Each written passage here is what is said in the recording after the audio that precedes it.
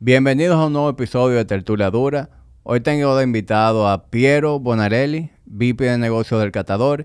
Y con Piero quiero conversar sobre su trayectoria profesional, pero también cómo se conecta el fitness y las la diferentes disciplinas deportivas que él ha practicado en el tiempo. Pero un profesional al que yo admiro mucho y que entiendo que tiene, una, tiene mucho que aportar con la conversación que vamos a tener hoy.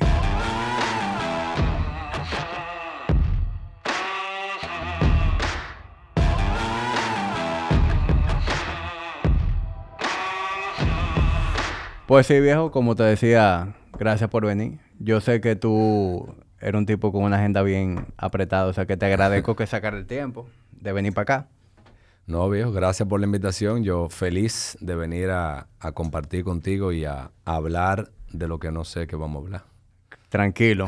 Eh, no vamos a hablar de nada que no forme parte de tu día a día. O sea que esto no, no, no exige ninguna preparación previa. Vamos arriba, yo feliz. Eh, lo que yo sí pienso es con esto, introducirte a la industria podcastera. Porque ya tú me dijiste que no tiene, no tiene hábito de, escuchar podcast. Así es. Como te dije, viejo, es todo un mundo. Hay muchísimos podcasts internacionales y nacionales que están haciendo un buen trabajo. So, yo vi, o sea, yo estoy al tanto de que un mundo sé que existe y nunca y no lo he conocido bien. No ha metido los pies. No, pero, pero yo escucho de gente y yo digo, mira, eso es más grande de lo que uno se imagina. Y raro que no te habían invitado antes a un podcast. O, o sí, o has ido a alguno antes. Eh, no, no, no. De verdad que no. Qué raro. Porque aquí hay muchos podcasts eh, de emprendimiento, que se habla mucho de negocio. Y como que una gente como tú hace rato que yo hubiera considerado para traer. Bueno, Nito, pues ya. Así que nada, no tengo el placer de ser el primero. Y ah, tú sabes que yo no tengo aquí en, en Tertulia Dura, usualmente se toma Acuapana, se toma San Pellegrino. pero yo no puedo invitarte a ti, que eres una leyenda nacional del vino, y no comparte un vino. No, o sea que quiero que, en este episodio no, no estrenemos a darle a esta plantica de, de Arzuaga. Yo estoy viendo esa botella ahí y estoy diciendo, ven acá, ¿y de decoración qué está? No, no es decoración, no. Me encantan los vinos de, del productor. Del ah, no, y del Suaga. O sea, es un... Tú sabes, yo... Fuera de series el productor. Yo fui a la bodega. Sí, yo me recuerdo.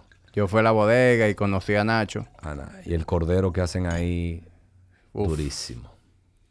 Cordero eh, lechal.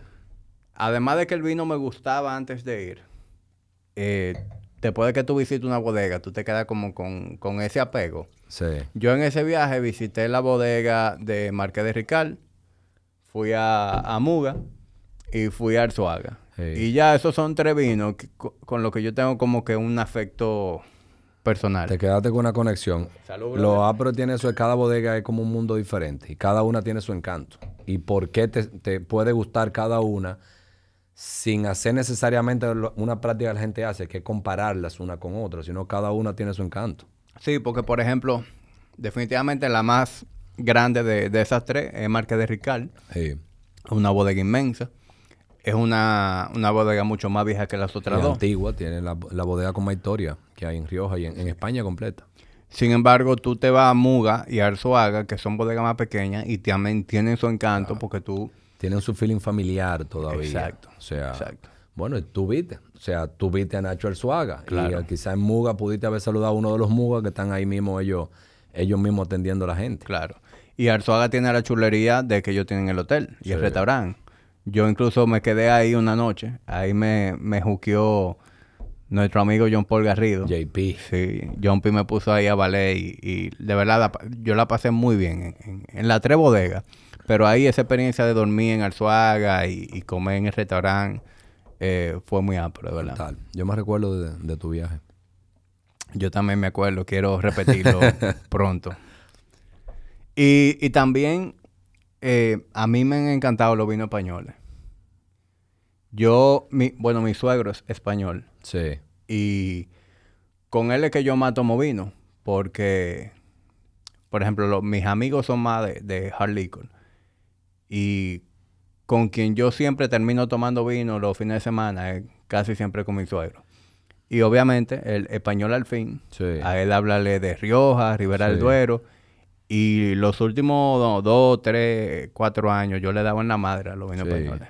E, España ofrece, eh, es una región vinícola que ofrece una relación calidad-precio como ningún otro país en el mundo. Los vinos de, probablemente mucha gente que tiene posicionado a Francia como el principal país productor y a nivel de calidad y de cantidad, junto con Italia también. Pero a veces la calidad que da un vino español a 1.500 pesos, en Francia cuesta 3.000 o 5.000. ¿Tú entiendes? Entonces eso le ha permitido a España llegar a muchas bocas. O sea, España ha crecido mucho en, los últimos años. Y ni mencionar el mercado dominicano que es pro español full. ¿Y por, a qué tú crees que se debe eso? La, misma influencia española que tenemos, que hay tanto español aquí. Son muchos elementos. Nosotros fuimos una colonia española. El comercio y la restauración aquí llegó con los inmigrantes españoles. Todos los supermercados y todos los restaurantes donde eran de España. Los productos están en español. Es lo mismo decir la planta que Gevrey Chambertin en francés o que Brunello di Montalcino y el Pollone. Eso son vainas muy complicadas. Claro. Pero, y Protos Reserva, eso está fácil de decir. Entonces, yo, yo siempre digo, el idioma español ya facilita que el dominicano tenga. Aparte, el dominicano es pro gringo y España. Esos dos países. Fíjate que aquí sucede todo lo que sucede en los restaurantes de Nueva York o en los de Madrid.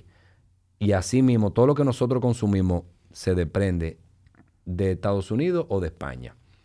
Pero al mismo tiempo España ofrece una calidad de producto muy fuerte por un, por un, precio, por un precio módico y eso, eso te permite que la gente pueda consumirlo con mucha frecuencia. De, de, los vinos españoles, ¿cuáles son tus tu favoritos eh, dentro de un rango de precios razonable? Porque yo sé que el precio influye mucho. Sí, el pre, claro. Pero, pero digamos que una botella que te ande por debajo de 3 mil pesos. Te voy a mencionar uno de mis favoritos en los 3 mil y, y Picasso. Hacienda Monasterio. Eso es, una máquina asesina.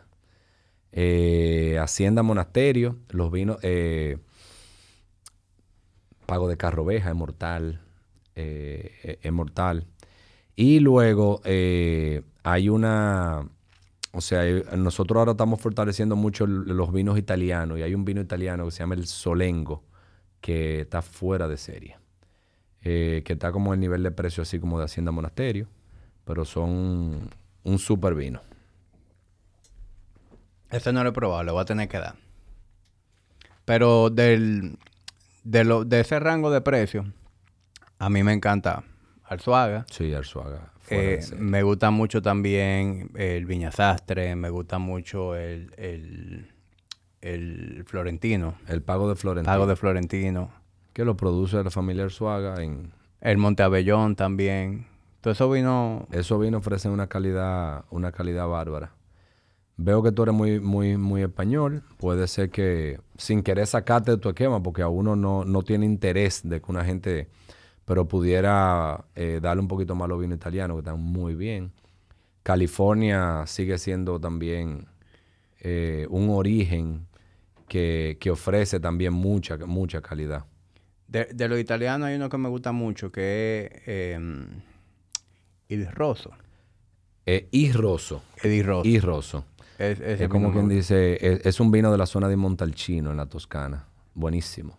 Es un mega productor. Yo no recuerdo si fuiste tú o Giuseppe, pero una vez yo estaba allá en la tienda y uno te Yo me recuerdo, fui yo. Ese vino con, con, con tal comida y No, yo me recuerdo cómo fui yo.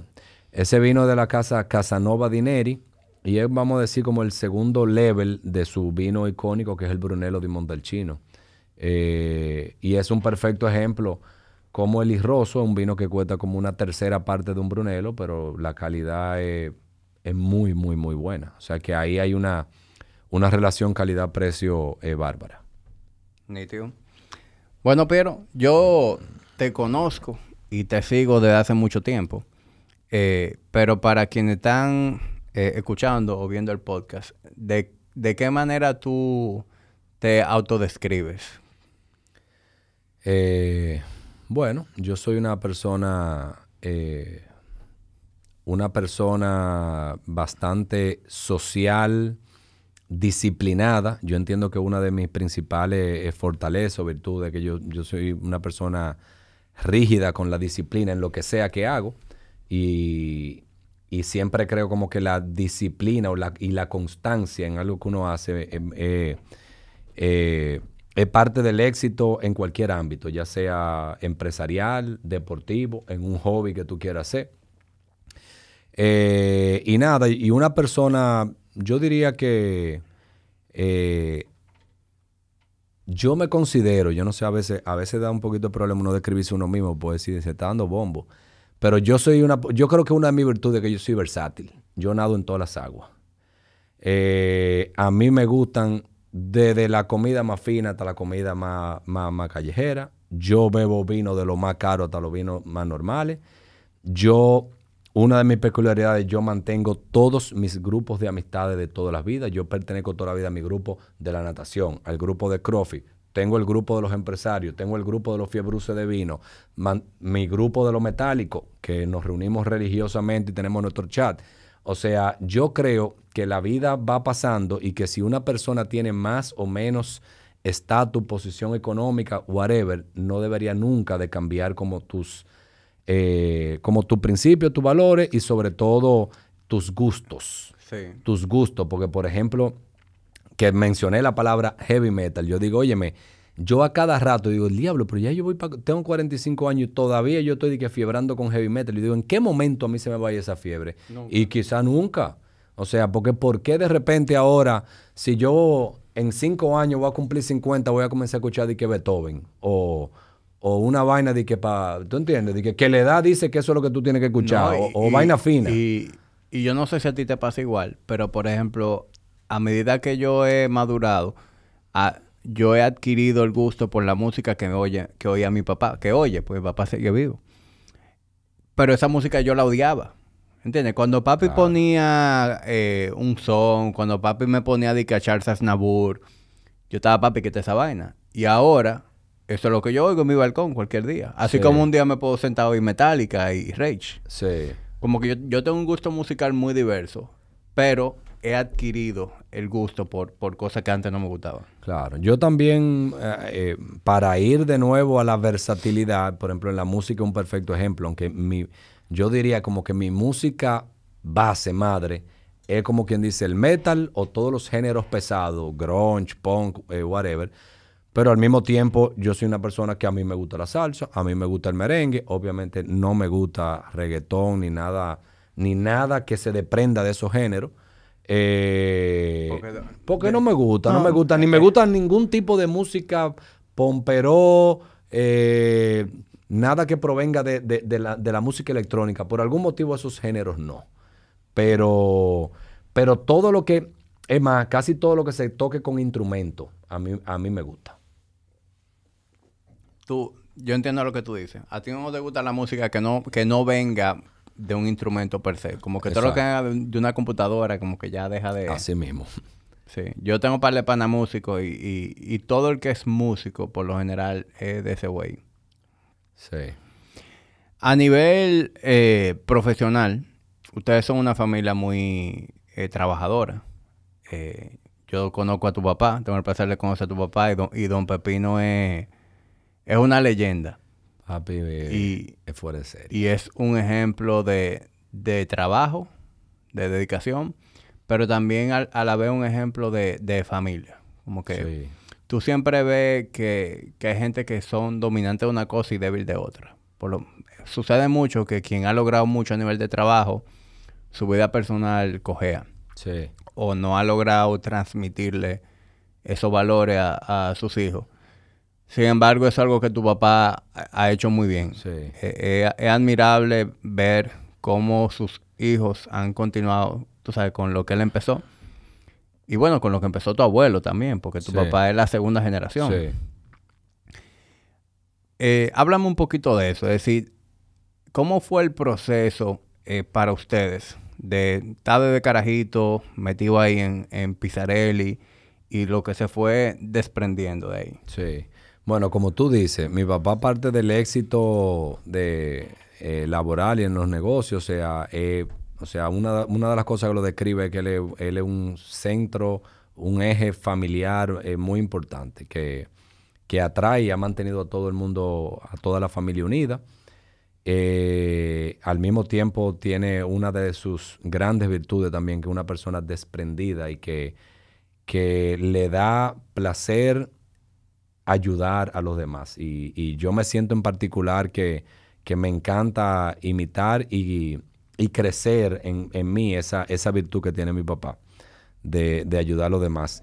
¿Cómo nosotros crecimos? O sea, nosotros de verdad, aparte como de del agradecimiento que, uno le, que nosotros le tenemos a mi papá, que nos enseñó del trabajo desde joven, porque nosotros desde chiquito íbamos, como tú dices, eh, primero las navidades a trabajar en el catador, aunque sea a los 14 años, a meter botella en canata, a estar que en la tienda disque atendiendo gente, pero era básicamente una forma de enseñando que enseñándonos qué era el trabajo. Desde a los 16 años ir a los festivales presidentes y trabajar en las carpas de las pizzerías. Ese tipo de cosas que a lo más seguro en ese momento uno no estaba haciendo mucho, pero lo que estaba haciendo era enseñándonos cómo se trabaja. aprendiendo el valor. Aprendiendo el valor del trabajo.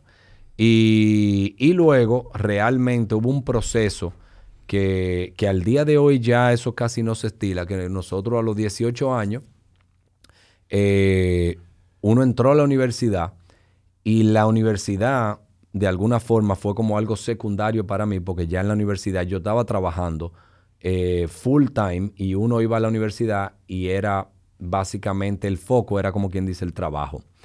Eh, tema que si mi, mi esposo o mi familia dicen, te escuchan tu hijo diciendo eso, como que está dando el ejemplo equivocado, pero yo digo los tiempos no son los mismos. Ahora mismo hay que prepararse eh, y la importancia del estudio y de la preparación no es la misma hora que antes.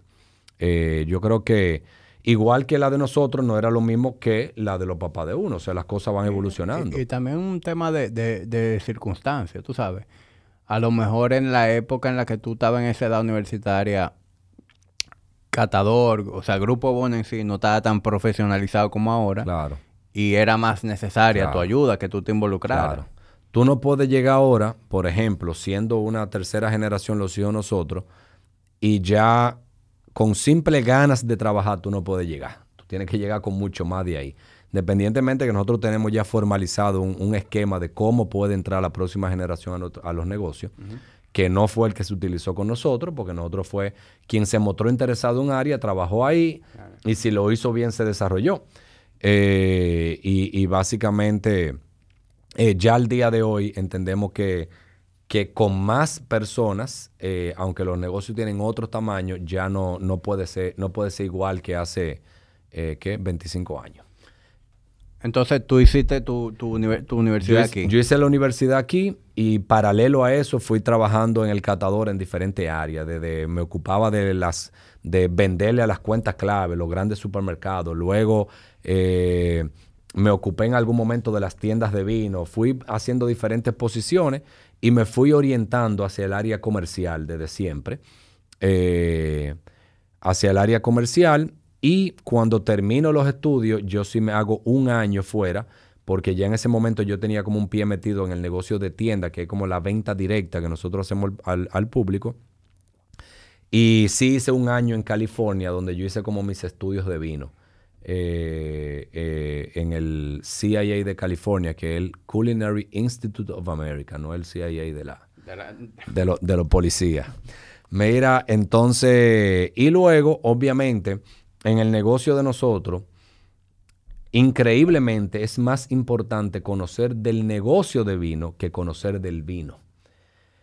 Tú puedes ser exitoso en el negocio del vino conociendo el negocio sin tener que ser un lechuguino del vino. ¿Tú entiendes? Sí, entiendo. Obviamente, a mí me, a uno le gusta saber las dos. A mí me gusta saber mucho de vino y conocer del negocio. Pero en ese momento yo quise complementar como que todos los conocimientos del vino eh, estudiando un año fuera y esos fueron unos momentos de mi vida donde como desde los 23 hasta los 27 años o de los 21, 22 hasta los 27 años yo me metí en una fiebre de vino bárbara, donde yo obtuve como la gran parte de mi conocimiento Y de ahí en adelante fue como que el conocimiento en sí del mundo del vino ya es como un poquito más empírico y de continuidad. O sea, tú paras de estudiar y tú sigues aplicando. Ya, a, a través de... a través de la práctica. El kilometraje. A través de la práctica. Pero, por ejemplo, puede ser que, aunque yo tengo muchísimo más insumo dentro de mí del mundo del vino, por ejemplo, si tú me preguntas, yo tengo recuerdo de de tal vino, de 20 años que yo me he tomado de ese vino, 20 añadas, de tal vino que si yo cuánto, yo tengo más experiencia, pero conocimiento de estudios del vino, quizás a los 25 años, yo estaba más duro que ahora mismo, porque yo estaba todos los días en eso, estudiando, estudiando, estudiando, estudiando, y en algún momento, cuando ya hay una estructura grande dentro de la empresa y hay gente enseñando a los demás a tomar vino, ya tú dejas de estudiar y tú haces otras cosas. Eh, y yo te estoy hablando de eso como de mis veintipico de años. Y entonces nada, así, así yo fui, fuimos básicamente eh, como permeando y creciendo como dentro de la estructura del catador y siendo como parte del, del, crecimiento. Ustedes son cuatro varones. Nosotros somos cuatro hermanos. Y lo que estamos Aníbal es el más viejo. Exacto. Luego Giuseppe. Luego yo. Después tú y, después y último Giovanni. Y quienes estamos activamente, operativamente en los negocios somos Giuseppe y yo, y Aníbal y Giovanni, que obviamente eh, están en la parte accionaria y como a nivel de consejo. Eh, porque ambos en algún momento decidieron emprender otros negocios y seguir siendo accionistas eh, y partner en, en, los negocios de la familia, aunque en el día a día hacen otra cosa. Ok, buenísimo. o sea que tú eres el tercero. ¿Qué, edad te lleva Nosotros nos llevamos dos cada uno. O sea, Aníbal es ah, dos a Giuseppe. Fue con, un cronómetro. Que Giuseppe dos a mí y yo dos a Giovanni. Por ende, dos, cuatro, seis. Aníbal es cuatro a mí, seis a aquel. O sea, de a dos años. Lo increíble, lo increíble es que Aníbal y Giuseppe se llevan dos años y cumplen el mismo día. Ah, pero o sea, que fueron dos años timeados. Mira qué bien. Sí. Qué pero O sea que tú estás en el catador ¿desde qué año? sí, desde el 90... Desde el... Wow, desde el 94. ¿Y, ¿Y en qué año empezó el catador oficialmente? En el 76, el año que yo nací.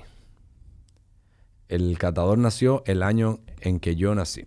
Eh, comenzó como una como un sitio en, en, la Lope de Vega al frente de la Lira y como a los dos años se, se mudó como el 78 al edificio donde, donde estamos el día de hoy que era primero, obviamente, una primera planta. Claro, y eso fue, creciendo en el tiempo. Claro. Y el, y el primer Pizzarelli, en el 82, el de Plaza Naco. Ese fue el primero. Yo tengo recuerdos de la inauguración de Pizzarelli Naco, que yo fui en chancleta y en tanga, que yo salí del Club Naco, mojado a la inauguración de Pizzarelli Plaza Naco. Yo tenía seis años. Tú sabes que yo no sé si es un asunto mental, pero la mejor pizza la mejor pizza de Pizzarelli eh, la hacen en Naco. Todo el mundo, mucha gente dice eso. Yo no sé si eso está vinculado a la, a la tienda original. Eh, ¿Tú entiendes? Pero mucha gente comenta eso. Sí. Que la pizzería de Naco es donde sacan la mejor pizza, pero ese producto está estandarizado. Pero la gente. A lo mejor es algo sentimental, tú sabes. Eso, eso me imagino que tiene mucho que ver, pero es mi, es mi opinión. Y mira que yo eh, por mi manera de comer, yo no soy una gente que come pizza muy, muy frecuente. Pero no porque tú estés aquí, porque mi pizza favorita es Pizzarelli. Pero mira, yo tengo, yo no estoy, eh, esto no se trata de cuña ni a Pizzarelli ni al negocio de la pizza, pero yo tengo a la pizza increíblemente entre los productos que yo me doy unas harturas y como quiera amaneco planchado. Es verdad. ¿Te cae bien? Me cae bien. A mí no me cae bien. Y, y, sobre todo la pizza del horno de leña tipo napoletana, que tiene otro tipo de harina y que es más ligera, la de, la de tratoría, por ejemplo, esa, esa yo la digiero como en 20, en 15 minutos. Ah, pero qué bien. A mí no me cae muy bien la pizza, ¿no? Pero es porque a mí no me caen bien los lácteos.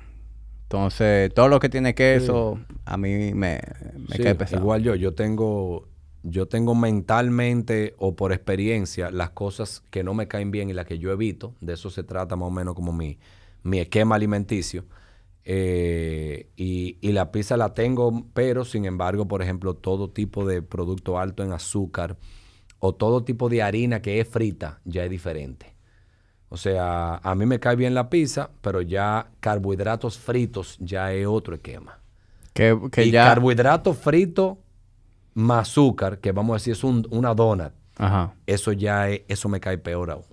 Que, me interesa, vamos a entrar ahí en un momento. Quiero saber cómo es, eh, qué es lo que a ti te funciona a nivel de alimentación. Porque he visto cómo tú eh, has logrado en los años consistentemente mantener una condición física envidiable, viejo. Gracias. Lo que te iba a decir, ah, te iba a agradecer porque yo no sé si tú lo haces con esa intención, pero cada vez que tú te vas de viaje y tú haces tu rating de los mejores lugares para comer pizza en Nueva York, por ejemplo, eh, yo tomo nota. Ah, pero... la, la, última vez que fue a Nueva York, la, mi esposa andaba con screenshots de la vez que tú fuiste. Mira, Piero dijo tal sitio, tal sitio. Y, fueron. fuimos como a tres de, tu listado. Nítido. Eso hay que hacer. Eh, tengo en mente hacer de los una que parte tres. De los que fui, eh, Rubirosa. Rubirosa Mortal. Y el negocio que está al lado de Rubirosa se llama Upside Pizza.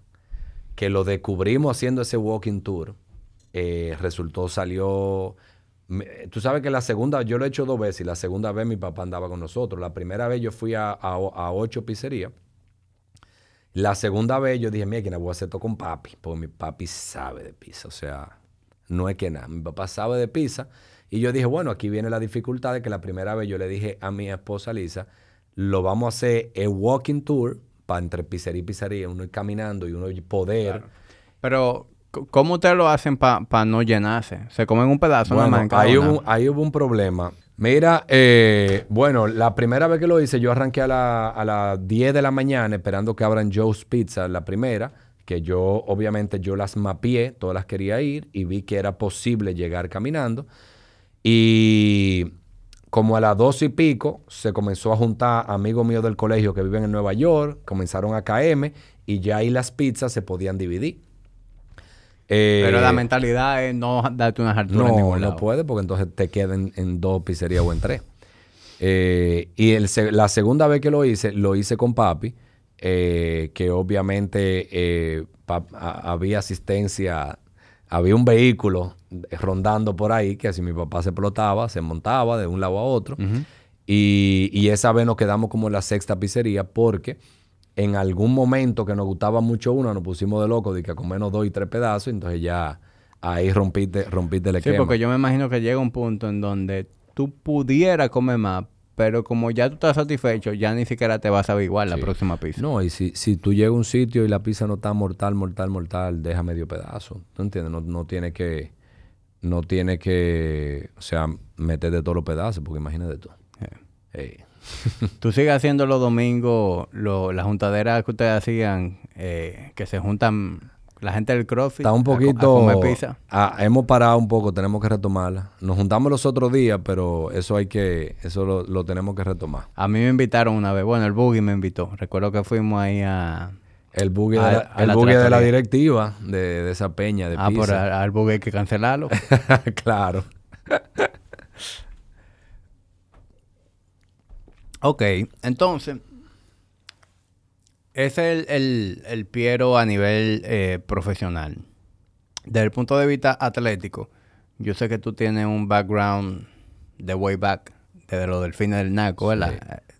¿A qué edad tú empezaste a nadar?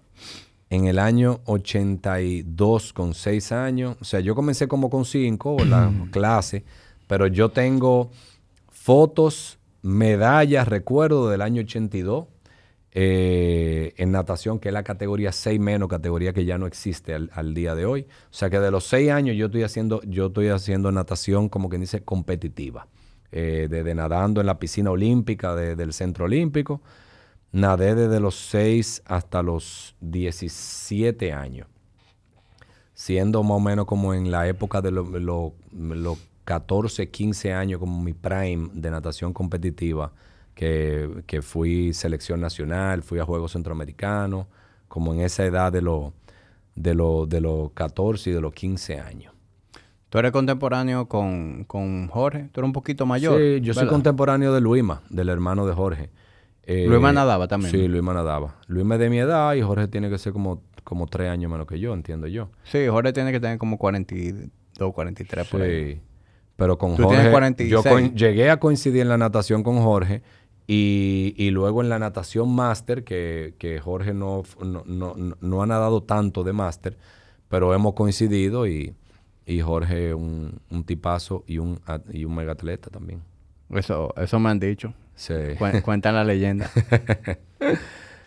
pues sí, pero entonces, nada, yo nadé, yo nadé desde los 6 a los 16, 17 años. Y eso, el nivel de disciplina que, que, trajo eso a mi vida y que lo he aplicado en todos los ámbitos de mi vida ha sido bárbaro. Desde que uno practicaba, yo a los 13 años nadaba a las 5 de la mañana y luego iba al colegio y luego para volver a nadar a las 5 de la tarde. O sea, el, nivel de disciplina que a los 13 años tú tienes que tener, que tú estás haciendo eso a diferencia de ahora, porque te dijeron en tu casa que tienes que hacerlo, eh, pero después uno lo agradece. O sea, eh, esa, ese nivel de disciplina a mí hace que a los 45, 46 años ya yo me despierte por default al día de hoy vaya a nadar religiosamente. Eh, y que sea, como quien dice, hasta un poquito psicorrígido con eso del ejercicio. O sea, yo soy capaz, yo te explicaba eh, fuera ahorita de, del nivel de entrenamiento en el que yo me metí hace como dos años para eh, el año del coronavirus. Y yo soy tan psicorrígido que si yo me vuelo un día de práctica, que eso no pasa en el año, en algún, al día siguiente me tengo que tirar dos. Eh, y yo no sé si tirarme dos al otro día, eso me va a funcionar. Porque no todo lo que tú haces funcione. Pero por si acaso, yo lo hago. Eh, por si acaso yo lo hago. No es, una, no es una práctica común, pero a ese nivel que, me da como un guilt trip si, si me vuelo algo. ¿Y, y cómo, cómo, tú le entras a eso? Es decir, pon tú que te tocaba el lunes nada 2.000 metros. ¿Qué tú haces? ¿El martes nada 4.000? No, bueno, yo, yo tengo ya como 15 años con un, o sea, con, mi protocolo de, vamos a decir, de prácticas, que está dividido entre las prácticas de piscina y las prácticas en seco, que, que hace mucho fue hierro tradicional, después se convirtió en mi fiebre del CrossFit y ahora mismo estoy de vuelta a entrenamiento funcional, como, vamos a decir, como lo que tú diriges aquí, porque estoy entrenando con Milton. Y yo yo soy psicorrígido con las ocho prácticas, eh, con las siete prácticas a la semana, con un día de descanso. Entonces, con un día de descanso pasé siete y tengo un día que hago dos sesiones, que ese día me toca, si fui a nadar a las seis de la mañana, que ahora que yo nado, eh, tengo que hacer una, una sesión de ejercicio que puede ser ese mismo día en la noche. Obviamente yo tengo, a mí se me dificulta que el trabajo mío, yo tengo como de dos a tres días a la semana, yo tengo algo en la noche en el catador o degustaciones, o visita de fuera, o actividad en un restaurante. Entonces, ese día no puede, no puede coincidir con eso. Eh, pero lo que sí es religioso es que yo tengo que hacer mis siete sesiones. Que si estoy alto en natación, está compuesto por cuatro de agua y tres secos, o cinco de agua en un peor escenario y dos secos. Y si estoy bajito de fiebre de natación, como lo estoy ahora mismo, este año en particular, luego de diciembre, entonces hago tres de agua y cuatro de, hierro. Pero normalmente lo que yo siempre hago es cuatro días de, natación y tres de, hierro en cual sea el hierro que yo tenga en el momento. Que ahora mismo... Ya sea CrossFit o, entrenamiento, funcional, que es lo que tú estás haciendo ahora. Me dijiste que en la pandemia te dio para una meta. Háblame de eso. Me metí un sofoque. Yo estaba... Cuando este país lo cerraron, yo...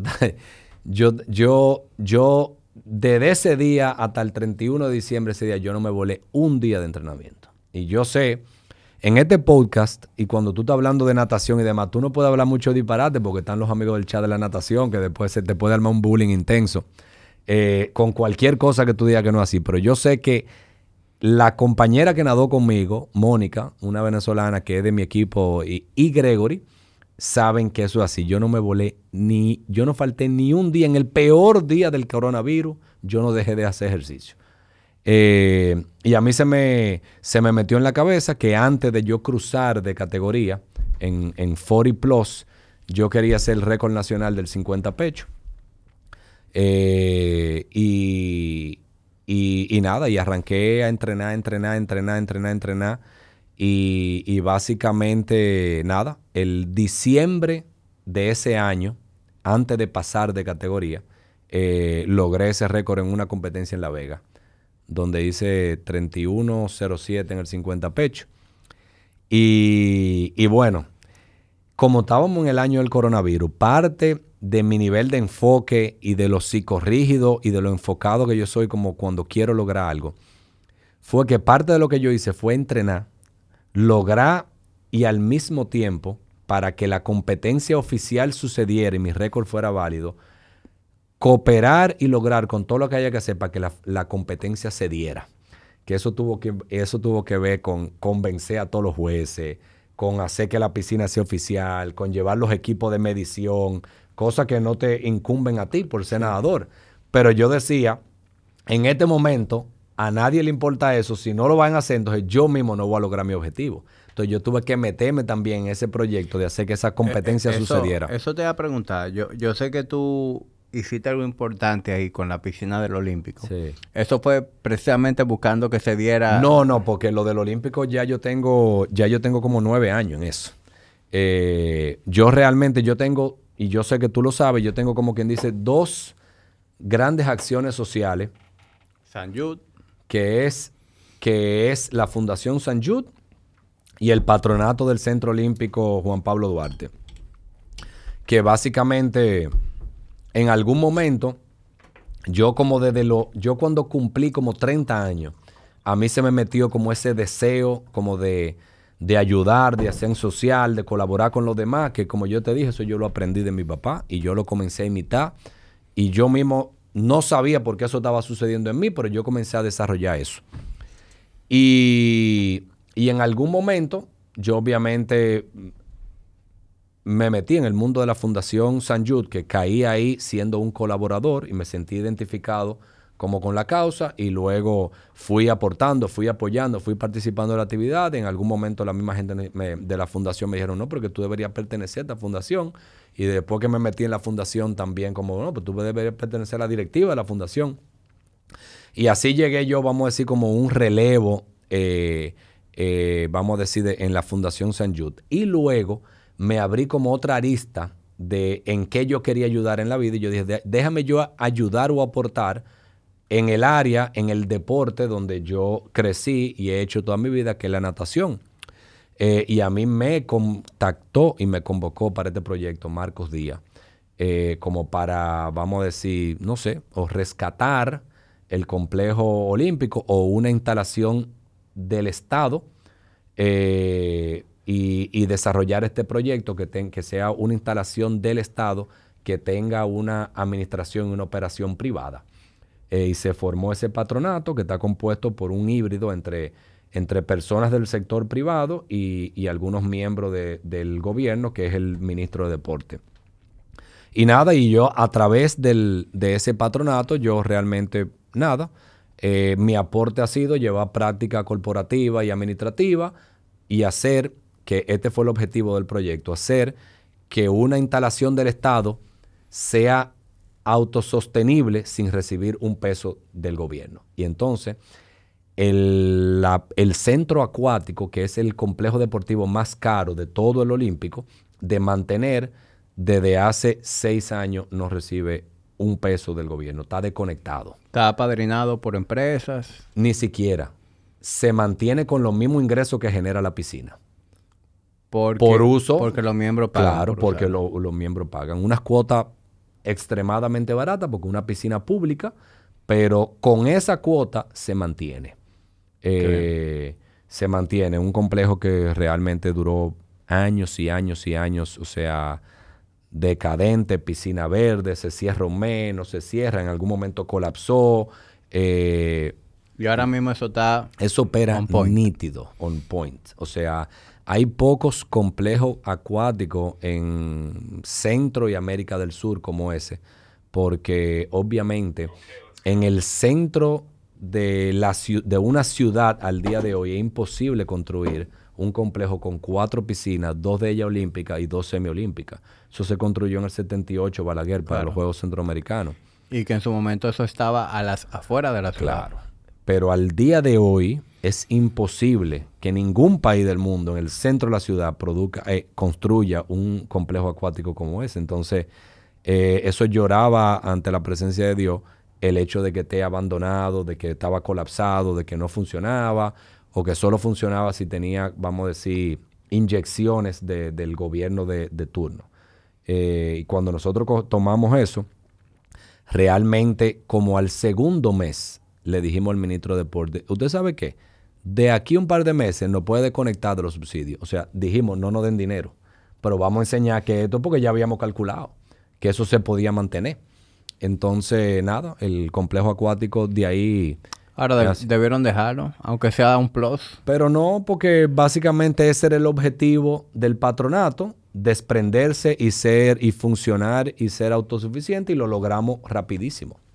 Eh, lo logramos eh, rapidísimo, simplemente metiéndole un poquito de eficiencia eh, de prácticas de la que uno utiliza en los negocios y llevársela a una, a una instalaciones del Estado.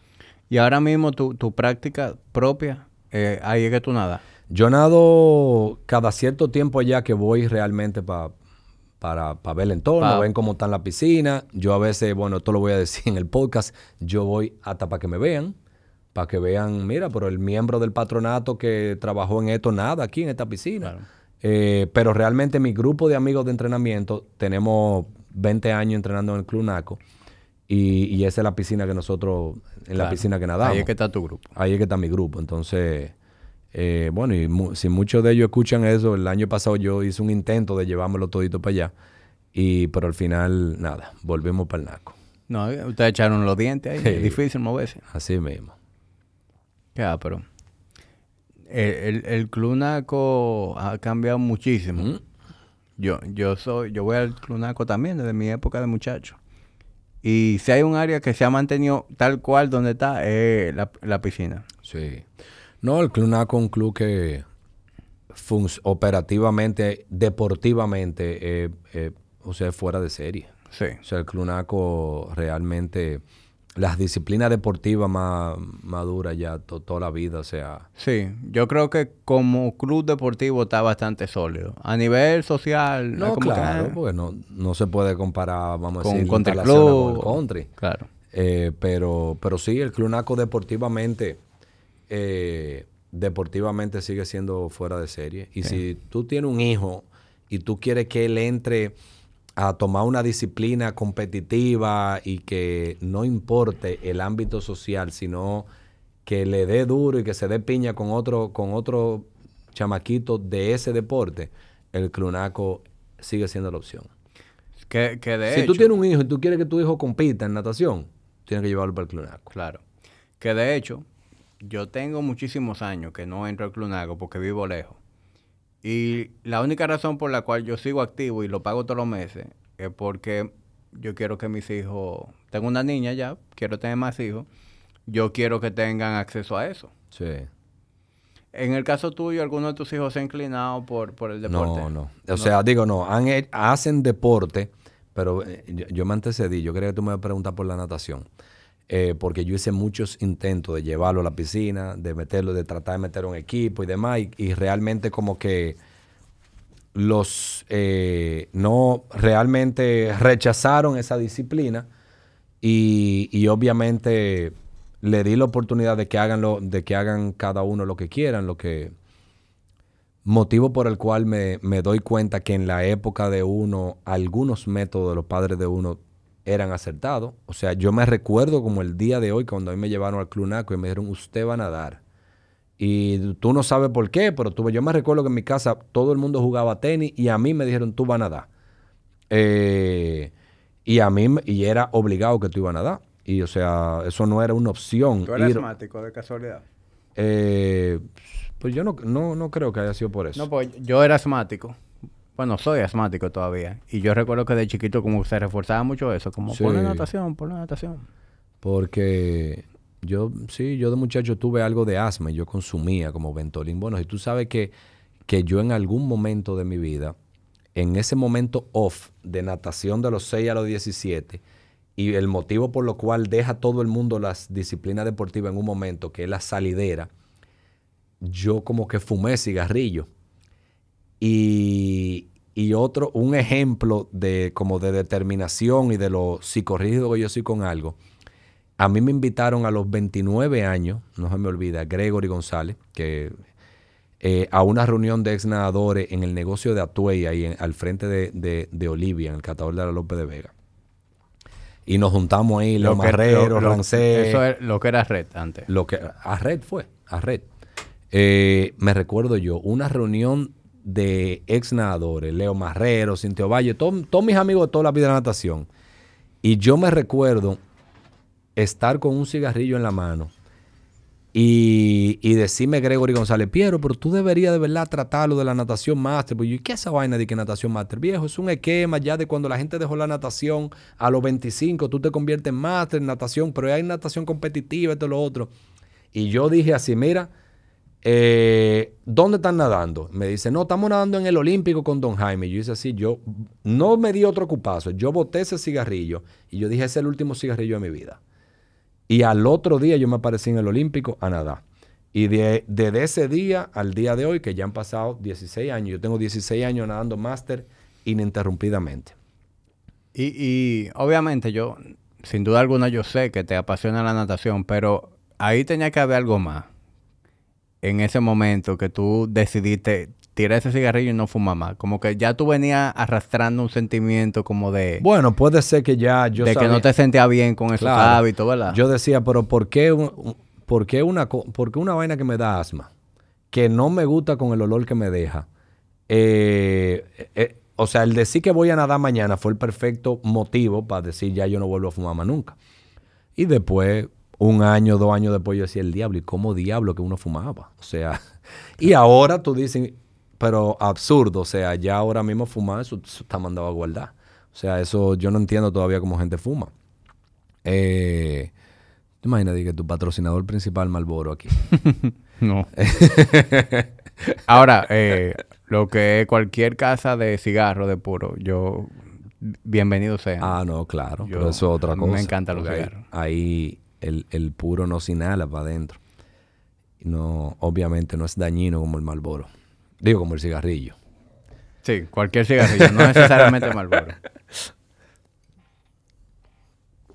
Entonces, al final, eh, ¿por qué deporte terminaron inclinándose tus hijos? Bueno, yo... ¿Cuántos hijos tú tienes? Yo tengo tres varones. Yo tengo tres varones y ya yo tengo un hijo que está, está en Boston estudiando, universidad. Y, y, tengo otro dos en el colegio ya en edad avanzada. Mis hijos... Están en bachillerato. Igual que nosotros, mis hijos se llevan dos años cada uno. Son tres varones, nosotros somos cuatro varones. Giuseppe, mi hermano, tiene cuatro varones también. O sea que nosotros... Eh, ustedes nada más dan hombres. Sí, bueno, Aníbal, mi hermano, tiene dos hembras y un varón. Y Giovanni, el más pequeño, tiene, un, varón. Sí. Eh, y entonces tengo tres hijos. Dos, uno está estudiando allá afuera. Eh, eh Pier Paulo es bastante deportivo, aunque no ha tomado ninguna disciplina nunca eh, a nivel competitiva eh, fuerte, vamos a decir así.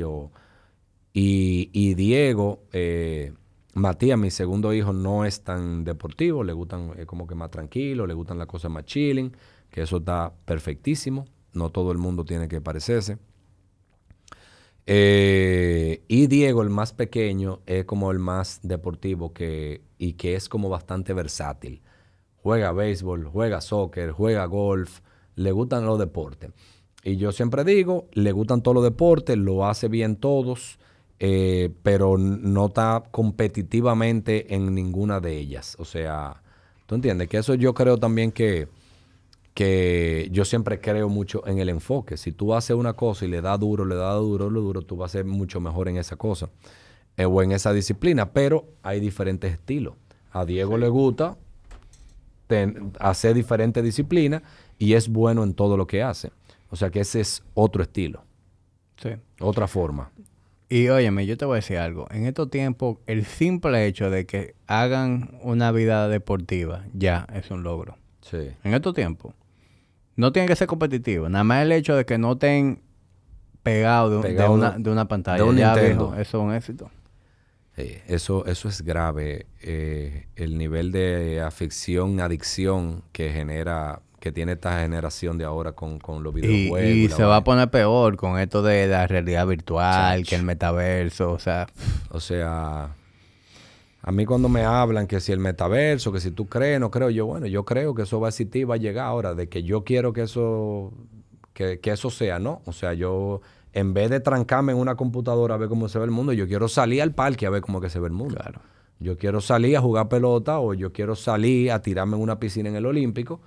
Si tú me dices a mí ahora mismo que me voy a trancar en una vaina con unos lentes y que voy a comenzar a nadar ahora mismo en la sala de mi casa, yo te digo, sí, yo creo que va a suceder, pero yo no lo quiero. ¿Por qué? ¿Para qué?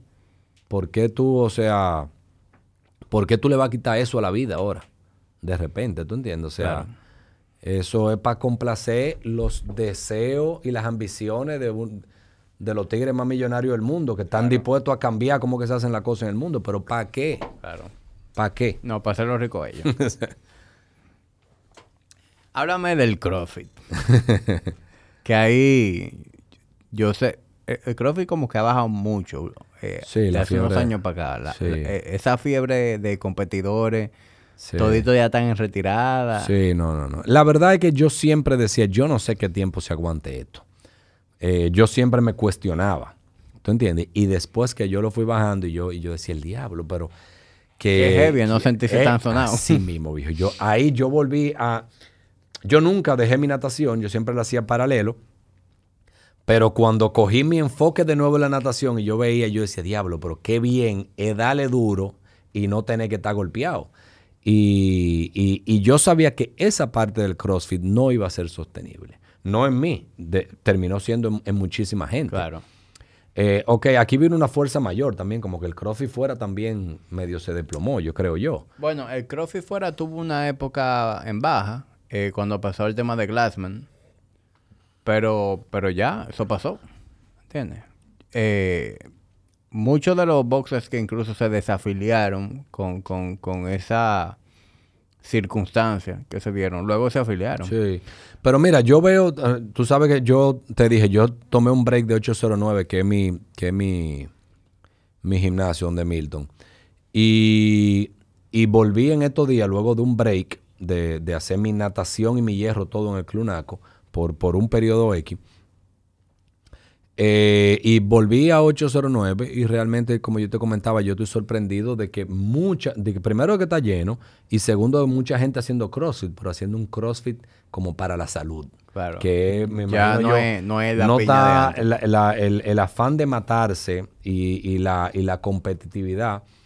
Eh, yo sí entiendo que eso ha bajado increíblemente. Eh, y que eso fue un tema como de, una generación ahí. Y, ya ahora mismo hay como otra, otra filosofía. Ahora, la verdad es que fue muy ápera la disciplina, el CrossFit, o sea, eh, eh, era muy cool. Sí. Mi, mi época de CrossFit fue muy breve. Sí. y lo que me enfrió fue la pandemia. Es decir, yo empecé a hacer CrossFit en el 2018. Yo hice el Open 2019 no, exacto. Yo hice el Open 2019. Yo creo que hice dos Open. Sí, yo llegué a hacer dos Open. Llegó la pandemia eh, y ya. Eh, obviamente me he quedado con muchos elementos del crossfit dentro de mi entrenamiento. Yo, por ejemplo, yo puedo... Óyeme, yo tengo registrado una serie de movimientos que yo digo de verdad, de verdad, de verdad tú sabes hacer ese movimiento correctamente y tú te puedes tú mismo autodirigir un entrenamiento. Yo, yo no sé si lo que estoy diciendo va en contra de, tu carrera, pero por ejemplo, tú te haces un set de overhead squat y tú, tú, te, tú te haces un set tú mismo de overhead squat bien hecho. Y viejo, no hay entrenamiento más duro que eso.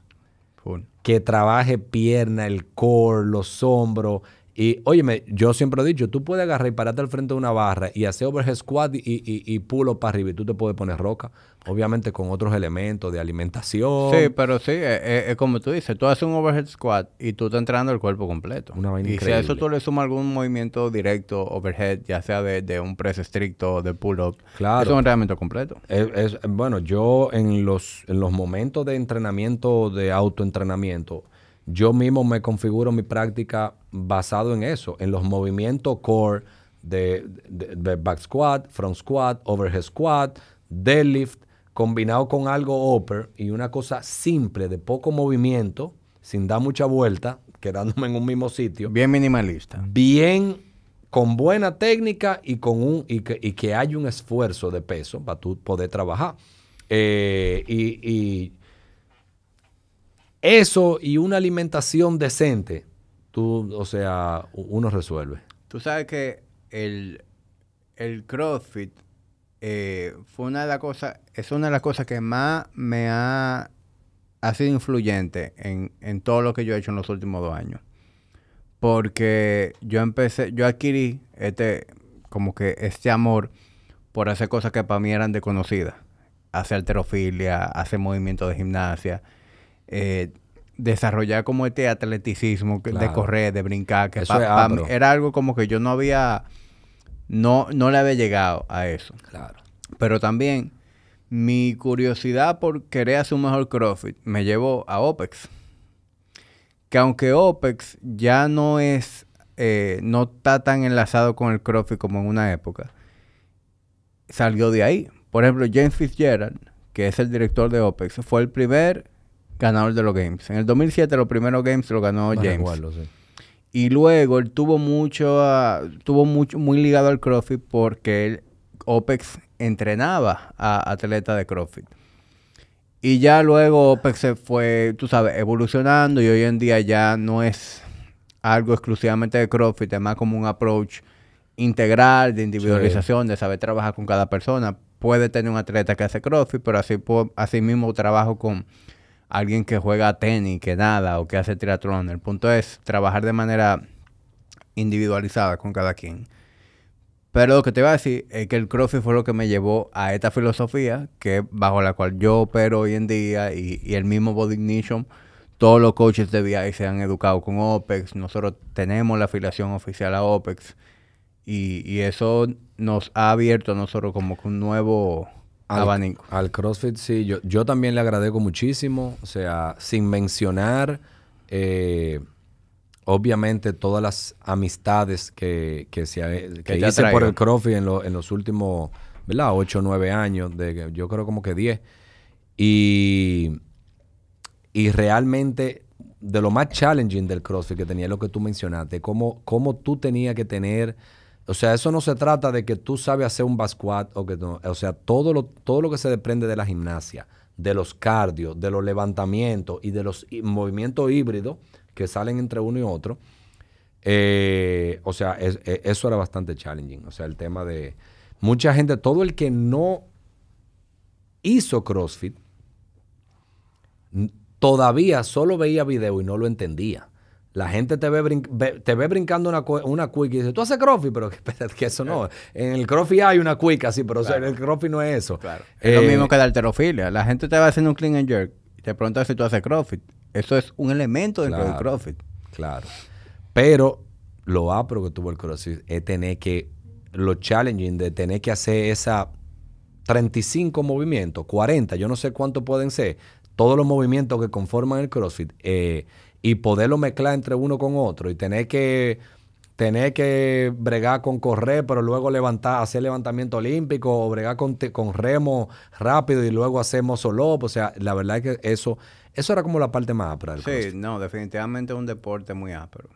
Es un deporte muy ápero y que te desarrolla mucho atleticismo a nivel Atleticismo y, y mira, y muy estratégico. O sea, eh, por ejemplo, yo me conocía, o sea, yo no puedo hablar del CrossFit, o sea, obviamente mi, nivel de natación es superior al de, al de CrossFit, o sea, es obvio, pero yo no puedo, yo me conocía mis fortalezas del CrossFit que no eran vinculadas a, la fuerza, ¿verdad? Porque yo soy relativamente eh, flaco y, era muy apro tú poder, pues, eh, por ejemplo, saber que donde todo lo que era vinculado al cardio o a lo que tiene que ver con el body weight y con y, y con gimnasia, ¿vale? Que, tiene que ver que el muscle up, los chest to bar y todo eso, eran como más o menos las cosas en las que yo performaba mejor. Pero obviamente hay un tema de hay un tema de fuerza que está vinculado a estructura física, que eso no se puede, y luego un tema de técnica y demás. Pero Claro, Una persona flaca y chiquita, de alguna mente, en los temas de fuerza, va en desventaja con un tigre, con un tigre grande y con, y, con vamos a decir, corpulencia que no es lo mismo que definición. Sí. El que no sabe mucho a veces de, o de ejercicio y cosas, confunde lo que es estar fit con estar fuerte. O lo que está cortado con, o sea, que, que tú si tú eres un tigre que está cortado y pesa 160 libras y está, todo rayado, eso no te da, eso no te hace ser fuerte. ¿Tú entiendes? O sea, son dos cosas totalmente separadas. Y la gente como que confunde eso. Claro. No, y también te sorprendería ver cómo muchos tigres que no tienen mucho volumen mueven libras. Porque esa es otra. El entrenamiento de bodybuilding eh, clásico no necesariamente es el tipo de entrenamiento que te hace más fuerte. Porque es una hipertrofia sarcoplásmica. Entonces, tú ves tigres, por ejemplo, que tienen 18, 19 de brazos y, viene un tigre de 160 libras y... ya, con, técnica. Y con fuerza, pura fuerza. Porque la genética, tú sabes, e, el, el, el make-up del tipo de fibra del, que tú estás eres más dominante. Entonces, esas son cosas que influyen. Sí, sí, la genética influye. Yo siempre calculo eh, la genética en el éxito de, de cualquier disciplina. Con decirte, espero que yo, yo he tenido clientes que, que llegan al gimnasio y arrancan a, por poner un ejemplo, arrancan a benchar con la barra vacía. Y pasa un año y están benchando 1.35, un plato de cada lado, que está muy bien para ellos. Te tiran 10 reps. Ah, y puede llegar un cliente nuevo primer día y le mete 1.85 al bench. Sí. Y, ¿Entiendes? Entonces ahí tú te das cuenta lo que influye en la genética. Claro. Yo siempre, en toda disciplina deportiva y sobre en natación yo lo, aplico mucho, importa mucho la genética, pero luego después eso se cruza con el entrenamiento y la disciplina. Claro. Y luego viene el tercer elemento que es la cabeza. Y el, el monstruo, la leyenda deportiva tiene esas tres cosas exponenciadas. Y luego hay gente que no tienen una gran genética y son el resultado del trabajo. Eh, son el resultado de, mucho entrenamiento. Eh, de mucho entrenamiento. O sea, yo, por ejemplo, en la natación me siento que soy más el resultado de mucho entrenamiento y de enfoque más que, de genética. ¿Tú entiendes? Más que de genética. Y yo sé de nadadores que, que son, por ejemplo, te voy a mencionar Jean-Louis Gómez, que es como el mejor nadador que ha habido en la historia de este país, eh, practicaba con nosotros, practicó conmigo el, el, 2020 y el 2021. Eh, es un tipo que es el, ese tigre, yo lo analizaba yo decía, mira, Jean-Louis, o sea, que para mí era un honor practicar con él porque me subía a la barra. Eh, yo decía, mira, que Jean-Louis es el resultado de las tres cosas a todo que la tiene. O sea, el tigre tiene la genética, que es lo que yo le llamo un deportista, es un natural. El natural es el que hace tres vainitas y coge. Claro. y el natural, que se en una piscina estaba, y el natural tiene la peculiaridad de que agarra cualquier disciplina y explota, explota a otros rápido. Y luego, si tú eres un natural y tú entrenas más que el diablo, y luego eres un demonio compitiendo a nivel de cabeza, que es ese amigo mío que yo digo se llama Jean-Louis, yo digo, lo tiene todo, eso lo hace el mejor nadador de la historia de este país. Pero uno de los mejores nadadores de la historia de este país, que es como mi mentor, Danilo Vicioso, que es un tigre que tiene 50 y largo de años y es al día de hoy una máquina nadando, y es como el tigre que más récords nacionales tiene en este país de natación, es el resultado del trabajo. El tigre es un psicorrígido entrenando y una bestia entrenando. Eh, ¿Y por qué yo digo que es el resultado de eso? Porque si él no entrena mucho, a él lo explotan. A él le ganan. Pero este, este, es un tipo que, que, bueno, él es como el sinónimo como del mejor nadador máster que ha habido aquí. Eh, y es un tipo de cincuenta y pico de años que al día de hoy, eh, 58 años, tiene cuadrito, está ripiado, tiene, está rankeado, eh, tiene tiempo rankeado a nivel mundial eh, en, sus, en su grupo de edad, ¿verdad? y yo lo admiro muchísimo y, él, y ese fue como el que me ayudó a entrenar cuando yo me metí como en, en natación máster.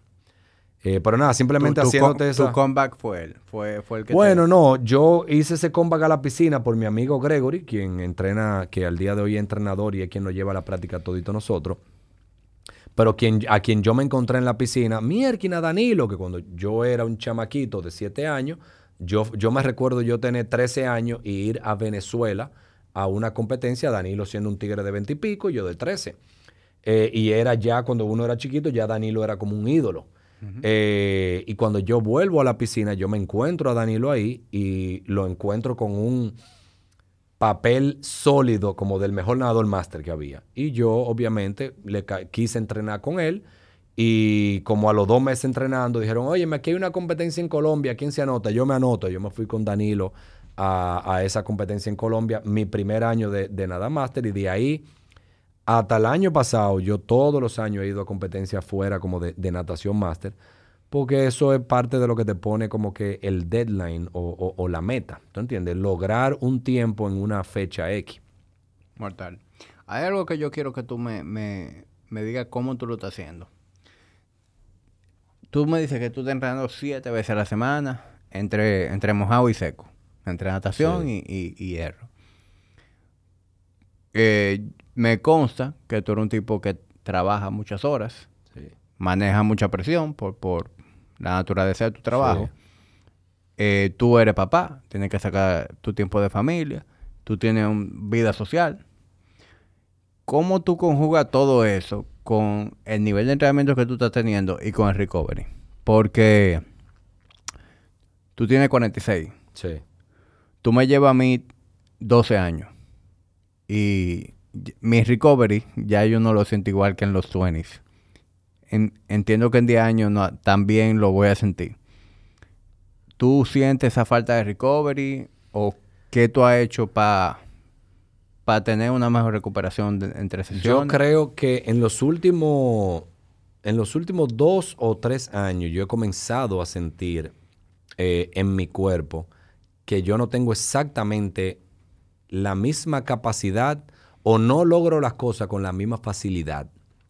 Yo siempre decía, óyeme, si yo quiero ponerme roca o ripiarme, que sé cuando yo me ponía yo en, un mes y pico, yo comía bien y le daba bien y yo lograba algo, ya eso a mí no me está saliendo como, como yo quisiera. Ahora, el tema del recovery, yo no, yo no siento que tengo un problema de eso entrenando lo que estoy entrenando y yo entreno a las 6 de la mañana hasta las 7 y 20 y eso no, y eso es parte de mi día laboral, o sea, para mí eso no es como un problema. Ahora, yo ahora mismo no estoy entrenando muy intensamente, pero yo sí lo hice el año pasado y el antepasado y yo no tenía ese problema, o sea que...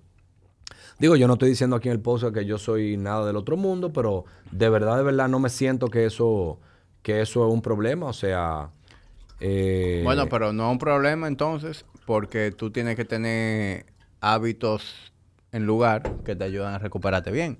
Entonces ahora yo quiero saber cómo es tu rutina de sueño, por ejemplo. Sí. Cómo es tu alimentación. Háblame un poquito. Mira, Mi, mi, rutina de sueño es normal. O sea, yo me duermo, qué sé yo, un, un 11 de la noche y me despierto a la... O sea, un día y pico, 11 y me despierto un 5 y pico para ir a la piscina. Estamos hablando de, de seis, entre 6 y 7 horas yo, de yo duermo entre 6 y 7 horas. A nivel de alimentación y suplementación, te voy a decir alimentación primero.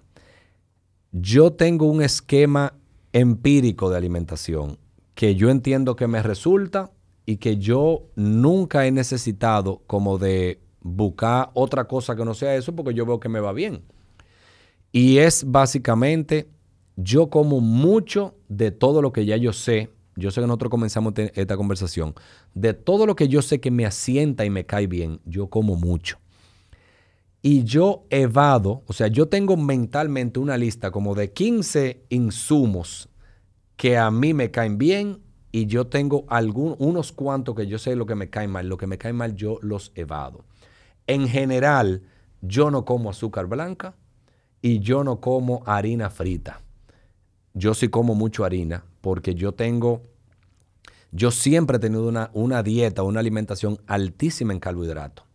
De hecho, de hecho, de algo que está muy de moda ahora, yo me siento que yo, yo lo descubrí hace como 15 años.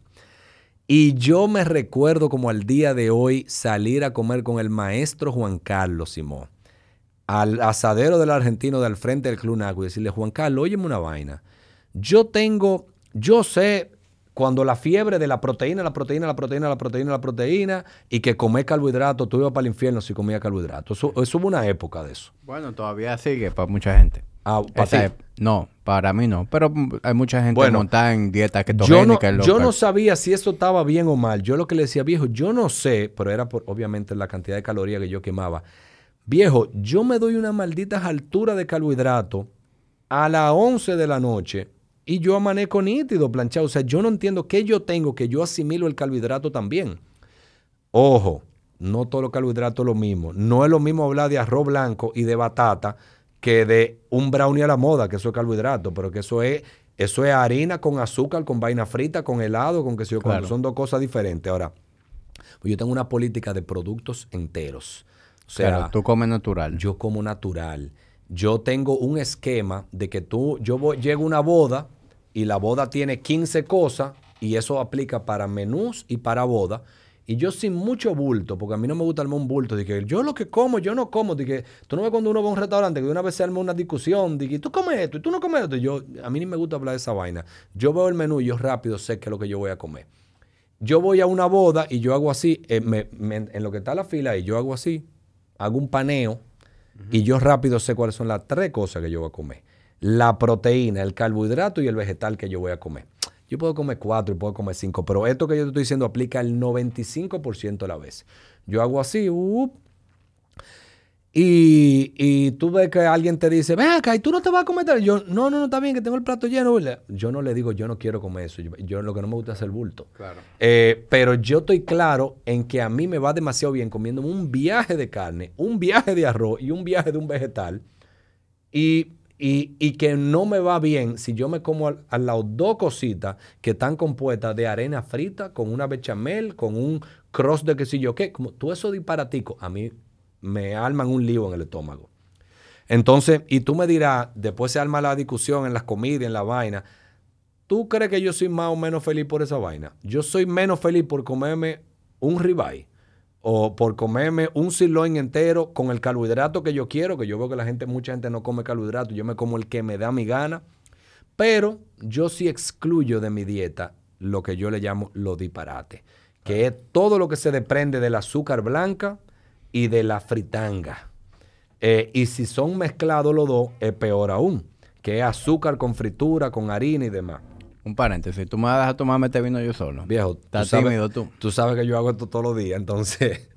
No, no, pero de, verdad yo, yo durante días de semana, yo cato vino, pero yo no, no bebo tanto vino. No, yo tampoco. Yo tampoco, pero me voy encampanado de aquí. Mira, entonces, yo tengo empíricamente una lista como de, de las proteínas pescado, pollo, pavo, carne de reca, lo de cerdo, chuleta, esto, lo otro, cordero, toda la proteína, todita. Los carbohidratos que me asientan bien, incluyendo la pasta. Yo ceno pasta por lo menos interdiario antes de acostarme. Y cuando yo estoy alto en entrenamiento, si ceno a la temprano, a las 7 y 45, 8, tengo que cenar de nuevo a las 10 y pico. Lo que sea que yo estoy diciendo aquí, yo no, yo no puedo hablar Bueno, pero es que esto es lo que te funciona a ti. Claro, por eso es. Yo digo, oye, a mí me funciona. Imagínate tú, si la gente lo que quiere comer, yo estoy comiendo. Eh, ahora, yo, yo lo, de nuevo, yo, o sea, eh, yo, yo he visto todo lo que entra en, la categoría de disparate, de junk food. Yo no como nada que venga en fundita. Yo no como nada que venga como en una, medio, como medio en lata. Eh, ¿Tú entiendes? O sea, a mí me gusta la alimentación de productos enteros. Eh, y producto procesado, la pasta, me gusta más que el diablo y como mucha pasta. Pero procesado entre comillas, ¿entiendes? porque, lo único procesado es... Eh, el, grano duro. exacto, la pasta. Pero yo, yo que lo sigo ustedes, yo veo que tanto tú como Giuseppe se van a hacer una pasta y yo veo que ustedes tienen su tomate y ustedes hacen todo from scratch. Que no es que tú estás comprando una salsa bechamel para pa echarle a, la pasta ni nada previamente fabricado. Sí, sí, sí. No, pero simplemente hice la mención de que en el mundo de las cosas que yo puedo comer mucho, incluye la pasta. Eh, pero de nuevo, la pasta, hay pasta y hay pasta. O sea, no es lo mismo una pasta, eh, una matriciana, que es tomate y cebolla y, tocineta, eh, a una pasta que tenga muchísimos ingredientes, que después tenga pan rallado arriba, que después tenga un cross de que sé o qué. O sea... Sí, yo, yo por ejemplo, como, como los lácteos no me caen muy bien, yo a la hora de comer pasta, por lo general pido una pasta al, aglio y olio. A mí me gusta la pasta así bien sencilla. A mí también, a mí también. Eh, no me gustan cremosas. Tampoco. Eh, por ejemplo, una pasta Alfredo. No, esa vaina no me... Esa vaina empegotado, que sé cuánto, no. A mí me gusta igual que tú. O sea, para mí, para mí es una delicia meterme un plato o dos platos enteros de uno linguini al óleo con un poco de peperoncino. Y un buen ribeye término medio al lado. Mortal. O e, sea, es, eso comer. Claro, eso. Ahora, yo no, voy a, yo no voy a comer eso todos los días porque hasta de lo que de lo que sé en la vida que uno haga tanto uno se harta, pero pero porque viejo, todo tiene un downside y eso sí, cuando ahorita me dijiste a los cuarenta y pico de años, sí yo he comenzado a votar yo no sé si el término está correcto aquí, pero botar chiguete en otras áreas. Por ejemplo, yo nunca he sentido nada con la problemática que tú me describiste del recovery, teniendo los 12 años que yo tengo más que tú, pero por ejemplo, el exceso de carne y de una serie de productos sí me ha dado ácido úrico. Y en esta semana yo he estado grave del ácido úrico. Y yo de una vez sé, pero ya yo tengo un protocolo. Ya yo sé, desde que me está medio atacando el ácido úrico, yo me doy cuenta, pues se me hinchan los pies y comienzo a caminar y me comienzo a sentir como que la mano, eh, yo de una vez sé cuáles son los productos que me alteran el ácido úrico, que obviamente es altura de, embutido, de, jamón ibérico, prosciutto, eso, eso, eso lo dispara. Eh, yo lo bajo y comienzo ejercicio y mucha hidratación y yo como que lo elimino del cuerpo. Eh, y eso es algo que a mí me ha comenzado a dar, vamos a decir ahora. Después de cierta edad. De, de viejo. Ok. Si tú te fijas, eh, eh, lo que tú me estás describiendo es que te funciona eh, con la alimentación. Va muy en línea con lo que yo he dicho aquí, con lo que vengo predicando hace mucho tiempo, de, irse a lo, a lo más natural posible. Suficiente proteína en la dieta, evitar la comida chatarra, los alimentos altamente procesados. Alta en fibra, o sea, a mí me gusta, o sea, todos los, granos y todos los, o sea, avenas, cereales, que se dice cuánto, o sea, enteros, enteros, eh, eso es vital. Yo lo siento en cómo yo lo digiero y en cómo yo eh, desde evacúo y todo. O sea, yo siento como que la salud cuando tengo una, una dieta alta en, fibra. Ya eh, como que la, proporción de, de carbohidratos, yo en mi experiencia he visto que algo muy individual. Es decir, tú históricamente me imagino que siempre has comido una dieta alta en carbohidratos eh, por tu propio background atlético. Es decir, con las horas que tú hacías de nado, ese es el tipo de alimentación que tú necesitabas llevar. Ojo, pero tú estás mencionando ahí, yo no meto horas de nado. Yo entreno una hora y quince minutos, una hora y veinte minutos, como mucha gente en este mundo. Eh, no estoy diciendo que soy, lo que, lo que estoy aclarando es que, no es gran cosa. Que no es que yo me la paso de que el día entero nadando. O sea, eh, aquí, o no, sea... pero me refiero a que eh, de chiquito, cuando tú sí competías, me imagino que nadabas muchas horas. Me recuerdo como hoy que, que de desayuno yo me metí un plato de pasta. y me recuerdo como hoy que yo a, a los 13 años, antes me daba un plato de pasta y un vaso de leche con dos huevos adentro. a, a nivel de Rocky Balboa. Pero que, que yo no sé, eso, en esa época habrán dicho que eso, que eso resolvía. Eso era, irse, eso era meterle energía al cuerpo de alguna forma. Claro. Entonces, ahora mismo, descríbeme un día normal para ti de comida. Por ejemplo, un día como hoy, un lunes. ¿Qué tú desayunas? ¿Qué tú comes? ¿Qué tú cenas? Mira, yo un día como hoy me puedo desayunar uno, unos huevos revueltos, unos huevos fritos con varias arepas eh, con varias arepas hechas a la plancha. Yo me puedo... Arepa de maíz. Ah, arepa de maíz. Tipo a mí el maíz de, esa venezolana. Sí, de hecho de esas son venezolanas. De, eh, yo puedo desayunar eso. Yo puedo desayunar, eh, yo puedo desayunar unos bagel integrales con, unos quesos, con, queso crema a la plancha y, y jamón. yo puedo desayunar unos huevos también con un plato como de avena al lado, de avena al lado. Comida, ya yo te dije, siempre en mi comida, eh, yo antes tenía una política de, merienda que ya la he eliminado. O sea, duré como, como 15 años que yo hacía una comida. En algún momento tuvo como muy de moda el tema de la frecuencia de la comida, ¿verdad que sí? Eso, yo creo que eso ha bajado. Sí. Yo creo que inconscientemente yo lo bajé, o sea, yo también hacía como una merienda a media tarde y una merienda a media mañana. Yo eso lo eliminé. Yo, el desayuno, eh, el desayuno, eh, yo antes me comía algo antes de ir a la piscina. Ya ahora yo como el suplemento, el único suplemento que yo estoy tomando, una bebida de carbohidratos. O sea, a mí me gustan todos los suplementos que son los... los, Intra-workout. Eh, intra, exacto, que son el, como el Surge, el el, eh, ¿cómo que se llaman? Eh, Plasma, Vitargo. Todos los productos que son altos en, maltodextrina, en el carbohidrato, eso. Pues yo digo, no como nada, pero timo eso, tengo algo como de una vez en el, en el organismo para gasolina. Claro.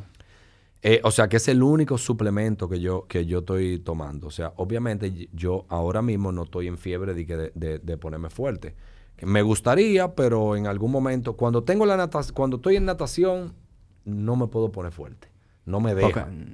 No sé, no me deja. O sea, no me la quemadera de la natación no me deja ponerme lo que, lo que nosotros le llamamos grande. Un chin grande no me deja. Entonces, ahora mismo ni siquiera quiero tratar. Estoy dándole como uno, uno hierro de mantenimiento. Al mediodía, siempre, como yo te digo, una proteína, un carbohidrato y un vegetal en el plato. Aunque en mi casa hagan cuatro o cinco cosas, yo como los miércoles en casa de mi mamá, en casa de mi mamá eh, hacemos una comida de la familia que sirven como nueve vainas. Yo siempre me veo, yo elijo tres. Una proteína, un carbohidrato y un vegetal. Y como hasta que yo me sienta que estoy explotado. Tú sabes que si tú te comes un plato que está lleno de comida, tú sabes que tú estás bien con eso. Pero si no te ha llegado la señal todavía de que tú te has explotado, tú te puedes parar y servirte otro. Yo como hasta que me sienta que te he explotado. Y, y en la noche, yo siempre, si no hay actividad y cosas en la calle, que siempre ya yo te dije, son como en algún momento histórico del catador, podrían ser todos los días, ahora mismo estamos como en dos días a la semana, yo voy a algo, sea algo siendo una cata, sea quedarme en el catador porque hay unos clientes, sea sacar un tigre, un representante de fuera, eso involucra comer fuera. Eh, pero, y si en mi casa, de nuevo, seno, siempre una proteína o con pasta o una proteína con un tipo de arroz, porque puede ser como un arroz como con maíz, un arroz que sé yo cuánto. Eh, mira, lo brinqué, pero yo desayuno, yo desayuno varias veces a la semana. Uno de, los carbohidratos que mejor me asientan es la batata. Y yo, estoy, yo como como tres o cuatro veces a la semana batata. Mayormente en el desayuno. ¿La haces en tu casa? Sí. Eh, yo, yo pongo la, digo, la cocinera pone la batata a hervir para ablandarla y después la corto en rueda y la pongo en una plancha con un chin de mantequilla y la hago como el quemadito. Y eso yo me lo puedo comer o con huevos si en la mañana o en la noche con cualquier, otra proteína. si es de noche. Como que el huevo es de, mañana.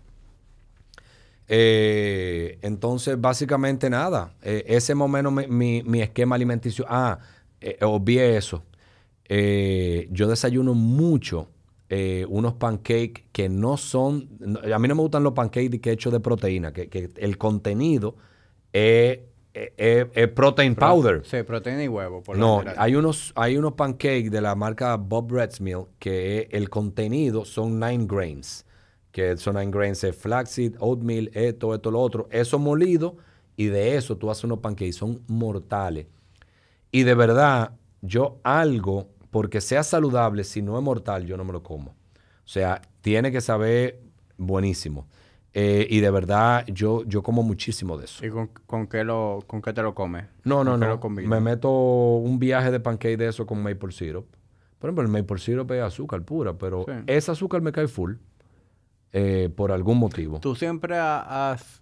tu tendencia ha sido a ser delgado, históricamente? Viejo, cuando yo dejé los ejercicios en la edad como de la universidad, yo veo fotos mías eh, en degustaciones de vino en el catador. Yo digo, el diablo, ¿y cuándo fue que yo fui así? O sea, yo, yo he visto un par de fotos tuyas Buchu. De esa foto que ponen de, que de, de, los catadores como de los tiempos de antes. cuando, cuando se usaban los trajes con los pantalones. Loco, no, que yo sé El dress code del catador era de que pantalones con corbata. Y uno salía en la, a la calle a, vender en esa vaina. Eso es increíble. Mormón. Mira, eh, yo tuve una época que me puse así, que ni me di cuenta. Que eso fue como de los 20 a los 24. Eh, por ahí, pero ni me di cuenta. Yo dije, pero ¿y cómo yo estaba así? O sea, yo no entiendo, porque yo desde, desde chiquito, como hasta los diez y pico, yo, yo, yo estaba como fit en la época de, la natación, obviamente. O sea, que tu única época más o menos chubby fue cuando estuviste fuera, de, actividad. Universidad. En la época de la universidad, donde predominó la salidera. El, el Malboro. Comer Malboro, comer hamburger, eh, comer hamburger. Mira, yo como muchos hamburger y me cae bien el hamburger. Pero yo voy a un sitio de hamburger donde danse los hamburgers con toda la vaina y yo me como un yo me como dos cheeseburgers de hamburger de lo grande. Pero uno de los que tienen una croqueta que se explota, con una mermelada de qué sé yo qué, con uno de esos me cae malísimo. Y, y me cambia el cuerpo. Pero yo me como dos hamburgers de lo grande, con queso, con tomate, cebolla y toda la vaina. De nuevo, como básico. Eh, todo eso que tiene vaina frita adentro. Eso me acuerda a la época dorada del Burger of the Month de, de Monster. Yo no, era, yo no era cliente de los Burger of the Month. Yo iba mucho a Monster y yo comía hamburger. Tú sabes que yo, yo iba, eh, de hecho nosotros llegamos a tener uno, el, el Macro Monster. Eh, y obviamente sí, yo iba y me lo comía todito. Pero genuinamente lo que yo más disfruto es un bacon cheeseburger. Un bacon cheeseburger, ese es mi hamburger. Sí. Y ese es el hamburger que a ti te va a decir si es un sitio bueno. Porque un hamburger que tú le metas cebolla caramelizada y 20 mil salsas. Pues, de higo, vaina. Tú no sabes qué es lo que tú estás probando. O sea, hay una mezcolanza de sabores que tú... Yo soy básico. Bacon cheeseburger es lo que yo como. Entonces, eh, ya que estamos en ese tema de los hamburgers, eh, ¿cuáles son los sitios, tus tres sitios favoritos que ahora mismo para comerte un buen hamburger? Eh, wow. A mí me gustan, a mí me gustan los hamburgers chiquitos, los, los manos pencuca, así, manejables, para comerme varios. Eh, me gusta, me comí un hamburger que estaba mortal en Turo los otros días, pero mortal. Eh, me gusta también mucho el, hamburger de Olivia. estoy mencionando dos sitios que no son Burger Place. De alguna forma medio me saturé en algún momento de la fiebre de todos los hamburgers de calle. Y a veces me gusta ir a un sitio como full y comer hamburger.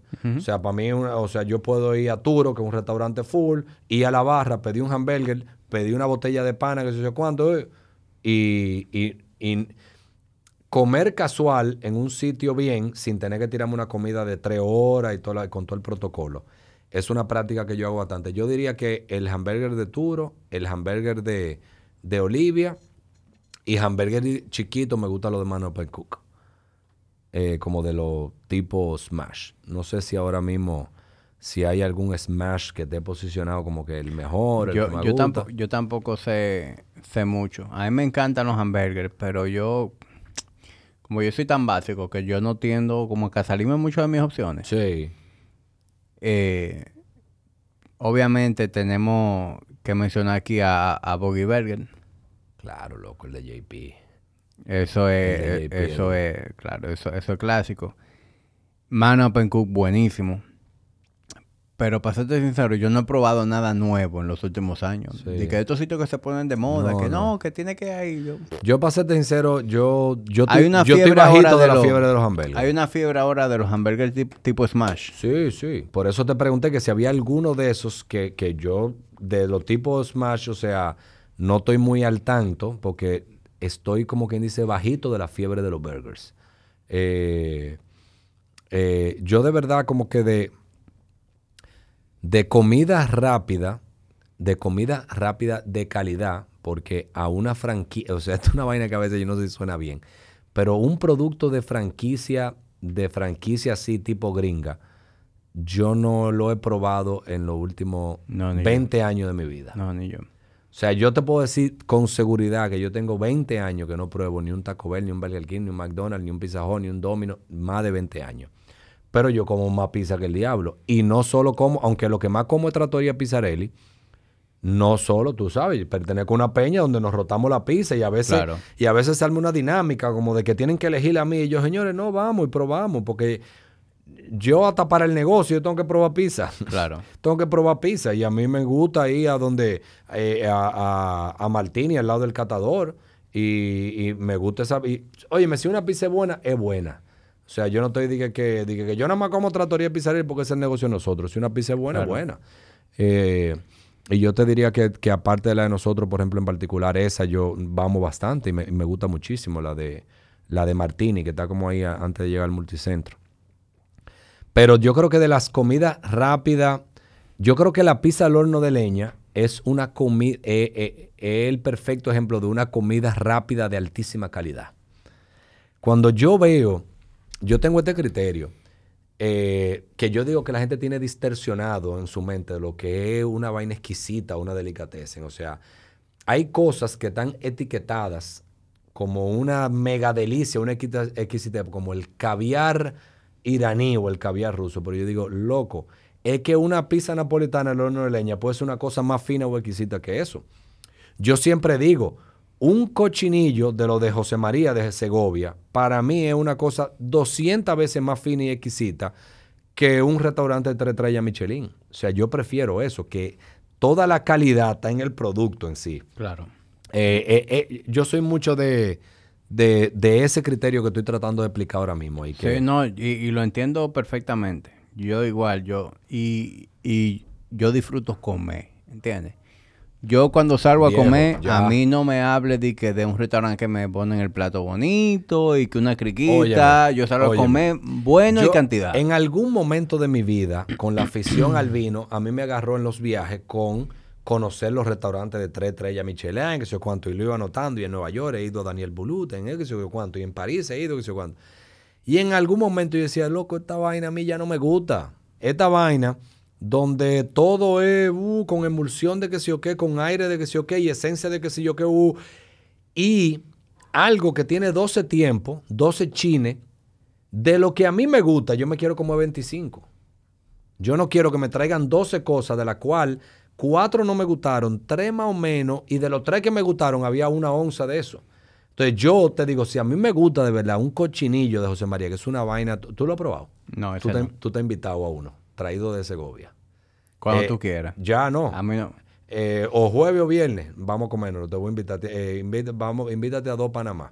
Nos vamos como un cochinillo entre cuatro. Bueno, vamos a llevarnos a Jorge García. Ya. Pero, no, pero si llevamos a dos Jorge, son dos cochinillos. Pues Jorge come como un desgraciado. va a salir. Pero está bien, vamos a invitar al doctor. Mira, pues nos, vamos a comer eso. Eso, eh, no sé si tú sabes que José María, el productor de cochinillo en Segovia, es el mismo dueño de Pago de Carroveja y él no, entonces él no permitió traer esos cochinillos pre-packed al vacío y lo por reservación, by appointment, lo, lo, hacemos a grupos que quieren hacer una cata de vino. Eh, le, tiramos al horno esos cochinillos, que son los que se comen en Segovia, y, y lo preparamos. No vamos, esa vaina es, una, eso es fuera de serie. Bueno, pero el asunto del criterio ese, viejo, que no me gustan las cosas que tienen mezcla de, de mil ingredientes y de muchas cosas. Y me gusta que cuando algo me gusta mucho, quiero comer mucho de eso. Yo soy igual que tú. Yo he ido a unos cuantos restaurantes Michelin, eh, en, tú sabes, en viajes que he hecho, eh, por un tema de cultura, de, ah, vamos a conocer este restaurante, pero eso no es lo que yo disfruto. Pero yo en un momento lo hice así, le cogí el feeling, pero en algún momento yo dije, viejo, pero de verdad esto no es lo que yo quiero. Entonces ya tú comienzas a tener una edad que tú dices que no, que yo hago lo que me dé mi gana. Yo quiero hacer lo que a mí me llena, no. Ya, yo, o sea, ya, ya la potalita la tengo. Yo no quiero tener muchas veces la potalita. Y, no me gustan las vainas tampoco muy pretenciosas. Yo soy. Eh, yo voy a un restaurante. Yo voy a un restaurante donde se coma bien. Para mí eso es lo más importante. Ah, qué bonito, que la decoración, que está trendy. Sí, Perfecto, eso puede ser un plus, pero eso no es, eso no va a ser un factor decisivo. Sí, por ejemplo, a mí, de los sitios que a mí más me gusta comer aquí es Miquele, el restaurante de, la, de la Bolívar. Sí, eh, que yo eh, entiendo que Miquele el Bacareto, es un, Bacareto, que es un tolete de, chef que, que aplica lo que yo estoy describiendo. La comida es el producto en sí y ahí hay cero, cero finura. Entonces, eso realmente a mí me gusta comer en ese sitio. Obviamente hay sitios que pueden ser más finos y también se da la comida buena, como tú dirías Don Pepe. Don Pepe es fino, pero al mismo tiempo el, tigre que, o sea, trabaja lo insumo Y el mismo caso también de Turo. De Turo también. Turo es fancy y, y para mí el mejor sitio, mejor sitio para comer carne que hay ahora mismo. Mira, eh, también Turo de los sitios que yo más voy. eh, que aplica eso mismo. Son grandes instalaciones, bonitas y de todo, pero el producto también lo es. Si no se come bien, no me invite. pero ya cerrando el, el, el círculo, ¿cómo tú has logrado identificar que se conecta esto, esta disciplina y amor por el ejercicio, por comer de una manera, por dar importancia a sueño, manejo estrés, ¿cómo se conecta eso con tu parte productiva? Bueno, eh, hay un tema, mira, yo, yo he visto que, que hacer todo lo que tú mencionaste ahí influye hasta en el estado anímico de uno. O sea, eso da fuerza y energía para, para transmitirlo a la parte, a la parte, vamos a decir, laboral o, del negocio. Eh, yo creo que es parte vital, lo que ya yo he mencionado como varias veces aquí, como de, de, de, esa disciplina que la llevo también, como quien dice, al trabajo, aunque yo no soy tan estricto o rígido en el trabajo como lo soy como en, en este en esta parte de mi vida, pero sí, eh, sí también tengo comprobado en el mundo del, negocio y en la parte laboral que el nivel de enfoque que, yo he aprendido, como la parte de, los, de, de las disciplinas deportivas que yo he hecho, llevarlo al trabajo garantiza el éxito en, sobre todo como por ejemplo por proyectos.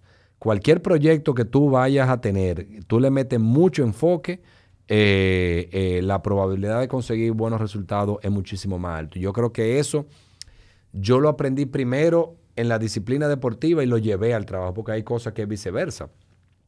Pero yo creo que eso yo lo aprendí como en la, en la disciplina deportiva y lo he llevado al, trabajo. Hay algo que a mí me pasa y yo asumo que como tú me llevas a mí unos añitos, algo que tú tienes que ver con incluso más frecuencia. Yo tengo amigos que somos contemporáneos, que llevan un estilo de vida muy diferente al mío. No, no entrenan como yo lo hago, no comen como yo lo hago, no, no le dan esa importancia al lifestyle que yo le doy. Y yo llevo una vida mucho más acelerada que ellos en todos los sentidos. Me levanto primero que ellos, trabajo más hora que ellos, hago ejercicio, me acuesto más tarde que ellos, practico hobby, etcétera. Es decir, tú ves mi estilo de vida y comparado con ellos, el saco de, actividades. Y a mí me da, como que me, resulta curioso ver cómo a pesar de que tenemos la misma edad, hay panas como que están echados. Como que... Bueno, porque Llegan a su casa a las seis, a, a y, ya. Me imagino que a ti te tiene que pasar lo mismo. Bueno, sí, yo tengo, yo tengo amigos, pero eh, muchos de mis grupos de amigos pertenecen al grupo de la natación, que la mayoría son activos, y al grupo del CrossFit, que también. Eh, y si tú te pones a ver también mi, otro grupo de amigos, está mi grupo de, amigos del colegio y universidad, que ahí pueden haber varios que entren dentro de esa categoría. Yo espero que eso no lo, no lo vean este, el podcast. No, pues, eh, no, hemos tirado a nadie al medio. Mira, estamos eh, generalizando. Pero sí, sí, o sea, yo entiendo perfectamente. Y lo que tú describiste que a ti te pasa, la capacidad de hacer cosas, eh, esa energía que, te transmite los ejercicios y el entrenamiento, y al mismo tiempo te, permite como esa versatilidad de hacer muchas actividades. a mí me pasa, yo hago muchas cosas, en algún momento yo quiero no hacer tanta y enfocarme ya como está claro en lo que me gusta. O sea, yo ahora mismo tengo que como delimitar eh, y aprender como que a, rebotar eh, actividades que, que obviamente que ya, que yo no quiero invertir tiempo en cosas que no sean las que me, en las que me estén llenando. Eh, pero, pero sí me pasa que veo amigos que realmente son un poquito más, más sedentarios y que realmente simplemente no le dan importancia a esta parte que tú le das importancia y que yo también. Y yo creo que no todo el mundo tiene que ser igual. Porque tú mencionaste tu lifestyle y yo lo que digo, ¿tú sabes qué? Ese que estamos hablando aquí, que no sabemos quién es, tiene su lifestyle. Ese es su lifestyle. Su lifestyle es ver Netflix, Porque el resultado de eso, que es hacer poca actividad y quizá está un poquito gordo y quizá está un poquito lento, él no le, no le está importando. Creo yo. No, y yo creo que eso es lo que pasa. Es decir, hay gente que se acostumbra a sentirse de una forma y ya, y no conoce nada mejor. ¿Qué, es lo primero que pasa cuando, cuando yo recibo un cliente en el gimnasio que viene de ese estilo de vida? Que al mete dice, viejo, pero yo ahora me duermo mejor, me levanto, ya no me da pereza pararme de la cama, me siento más productivo trabajando, hasta sexualmente, estoy más activo con mi pareja, es decir, empiezan a sentirse diferentes. Claro, Pero esas son cosas que tú solamente aprecias cuando te sales de ahí. Entonces, por eso te, preguntaba, eh, como si, ¿qué tan acentuado tú ves eso eh, cuando tú miras alrededor de ti, gente de tu generación? Porque es algo que ya yo estoy viendo. En, en, mi grupo de amigos, pues yo tengo obviamente un grupo de amigos, yo tengo tantos años en fitness que la mayoría de mis amigos son producto del fitness. Pero también tengo amigos de la universidad y demás que no son de esa onda. Y, y uno quisiera a veces como que viejo, ven a ver, hay, o sea, como que de este lado, cruza para este lado, pero la verdad es que hay gente que, no se deja ayudar. Sí, pero nada, yo, yo entiendo que eso lo hay, lo que tú dices. Yo tengo también amigos así, pero nada, hay gente que, que tiene su vida y, y, la que tiene le gusta. Y hay gente que no son tan activos a nivel eh, deportivo y, con de otras formas se mantienen bien. Mira, mi hermano Giuseppe, mi hermano Giuseppe no hace ejercicio, Giuseppe se ve bien, Giuseppe es activo, es súper activo, hace muchísimas actividades, siempre tiene, o sea, es extremadamente activo. Y Giuseppe no hace ni un chin de ejercicio. Eh, o sea que rápido me vino un ejemplo que tengo muy cerca de alguien que no es disciplinado en la parte del ejercicio y que sí es muy activo, exitoso y, dinámico en muchísimas otras cosas. O sea que nada, yo, yo creo como que hay de todo, aunque realmente el que prueba los beneficios y el high que dar estar en salud, se comienza a dar cuenta por qué a mí realmente no me pasa nada cuando estamos en un restaurante y veo que se están dando unas alturas de todos los postres al final y yo digo, mira, mi comida llegó hasta el plato fuerte. Yo no me estoy perdiendo de nada, porque a mí primero no me hace falta. Eh, me estoy evitando una sensación mala dentro de mí. Me estoy evitando algo eh, y al mismo tiempo estoy gozando otra cosa, que es el bienestar y lo que como ya lo voy a repetir, el high que me da sentirme como en salud. Y mira, eh, una de las razones por la cual a mí me gusta tener eh, invitados como tú es para que quienes, quienes consuman el podcast conozcan diferentes versiones de fitness. Porque yo siempre digo que la versión de fitness de cada quien es algo que puede lucir muy diferente. Y por mucho tiempo se ha vendido la idea de que, de que el fitness es ser obsesivo con lo que tú comes, que es vivir como un monje. Sin embargo, hay mucha gente que lleva un estilo de vida saludable que tienen un balance en su vida. Es decir, mira como tú y yo estamos aquí sentando, estamos sentados tomándonos una, un par de copas de vino. ¿Que yo recomiendo tomar vino todos los días? No. Pero yo sí disfruto mi vino un par de veces a la semana. Yo, yo lo recomiendo todos los días. Bueno, tú sí, evidentemente. Pero, pero ah, ¿tú, tú, sabes a lo que me refiero. Tú eres una gente que disfruta comete tu pizza los lo que pasa, Oye, que lo que pasa, la gente, una práctica muy común de esta sociedad, y, debe ser del mundo entero, es encasillar eh, o crear como un prototipo de lo que tú entiendes que es. Por eso yo te digo, o sea, quizá a ti mucha gente te dice, asume que tú no comes de nada, que tú eches el día entero levantando pesas que tú realmente no haces ninguna otra actividad que sea de ocio, que no sea la de estar dentro de un gimnasio, y tú, y bueno, y eso en las redes sociales es parte, es parte de ese problema, o sea, la gente asume que tú eres sola, única y exclusivamente lo que tú apareces haciendo en un post. Entonces, eso es encasillar como en un, o, hacer un prototipo o de algo. Y, eh, o sea, pero eso hace que mucha gente no quiera asumir el, el, estilo de vida porque entiende que es un estilo de vida muy sacrificado. Claro. Dice, no, pero es que yo no quiero vivir como ese tigre. Claro. Yo no quiero vivir como un monje. A mí me gusta tomarme mi trago de vez en cuando, me gusta comerme mi pizza. Y tú puedes tener las dos cosas. Claro, que yo, yo no entiendo en qué momento se dijo que no. O sea, no, no, estoy totalmente. Y, y, si tú tienes un medio para influenciar, bueno, debería. Eh, aquí estamos. Eh, es bueno utilizarlo, porque realmente yo no entiendo. Eh, que, estar en salud esté vinculado a no hacer una serie de cosas que la gente lo asocia. Ahora, todo el mundo tiene una capacidad diferente de hacerla más o menos. Claro. Eh, yo te dije, o sea, yo soy una persona, yo por el trabajo, yo casi no bebo, pero yo pruebo mucho, porque a mí me gusta mucho el vino, pero yo no bebo grandes cantidades de vino, pero yo participo en mucha cata de vino y yo tengo que probarlo el vino pero yo participo en una cata que se sirven 12 vinos con un grupo de fiebruce de vino y yo sumo los 12, las 12 pruebas que yo hice no suman dos copas. Eh, porque a mí me gusta probar, me gusta la calidad en el vino más que, más que la cantidad. Eh, y, realmente a mí ahora, como yo te dije, por primera vez, yo siempre he sentido que a mí las bebidas destiladas, el hard liquor, me, no, no me pega bien, porque yo soy débil con el tema de la resaca. A mí cualquier cosa me da alta resaca.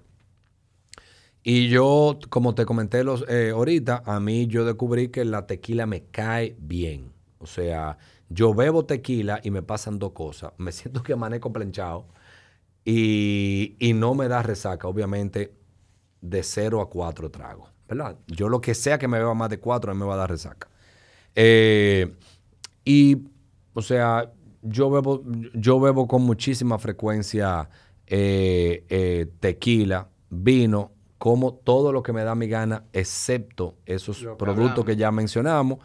Y es todo un tema de prueba y error. Tú comienzas a descubrir qué es lo que te cae bien y qué y es lo que ahí desarrollando tus propios sistemas y, hábitos. De eso se trata. Óyeme, yo duré con el tema, pero yo sé lo importante que es dormir.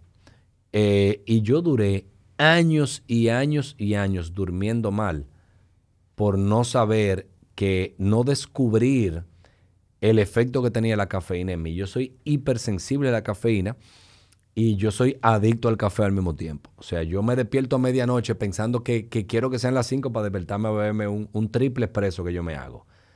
Eh, pero ya yo descubrí que yo, mi, toda mi ingesta de café tiene que ser desde las 5 de la mañana hasta las 9 de la mañana. Porque todavía a las 11 a las 12 te afecta. Lo que yo te estoy hablando, yo hice prueba. Bebo café a las 7, bebo a las 5, bebo a las 10. Hoy no bebo, mañana me bebo el triple. Yo duré tiempo haciendo esa vaina y yo medía cómo yo dormía. Y ya yo, después de muchos años, yo concluí, yo dije, coño, viejo, pero ven acá, si a mí el café no me hace dormir bien, yo voy a seguir tomando café, pero en el gap de tiempo que ya yo vi que no me afecta la dormida en la noche. ¿Y cómo tú monitoreabas que también dormiste o no? Ah, no, por la cantidad de veces que me despertaba. Cuando yo bebo mucho café... ¿Utiliza algún device? No, no, no. En estos días me estaban hablando, ¿y por qué tú no usas tal vaina? Y yo, bueno, ya no necesito usarlo porque estoy durmiendo.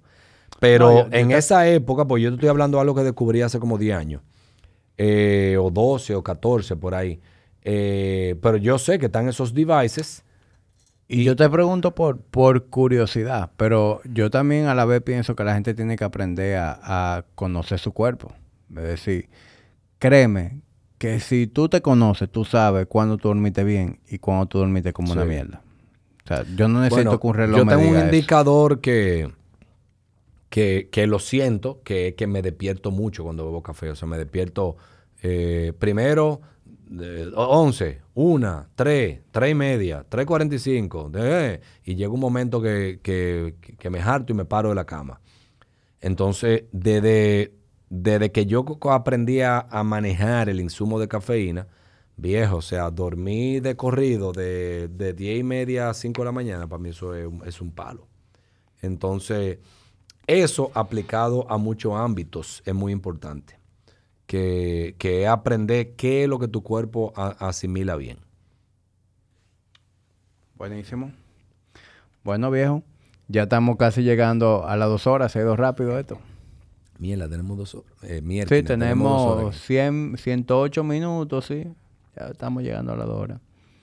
Pero, no, definitivamente eh, la conversación se ha sentido eh, rápida.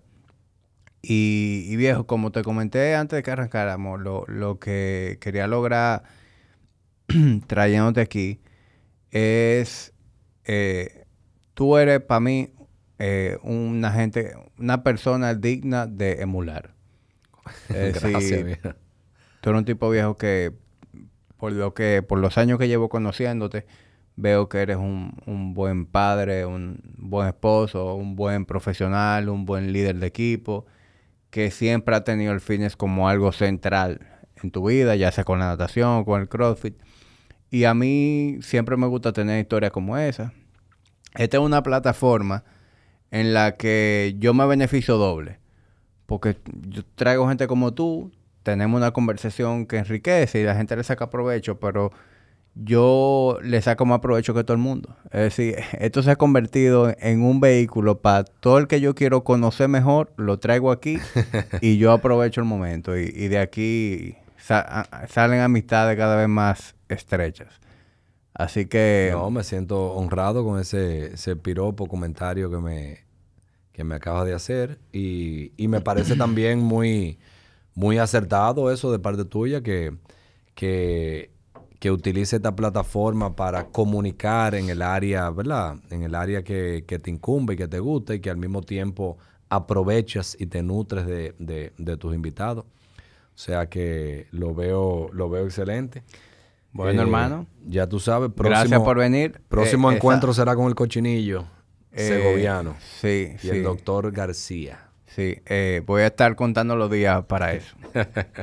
y nada, me llevo ahí e-, esa tequila que me trajiste. Bueno, ese vamos a, probarla. Ese es by far mi favorita.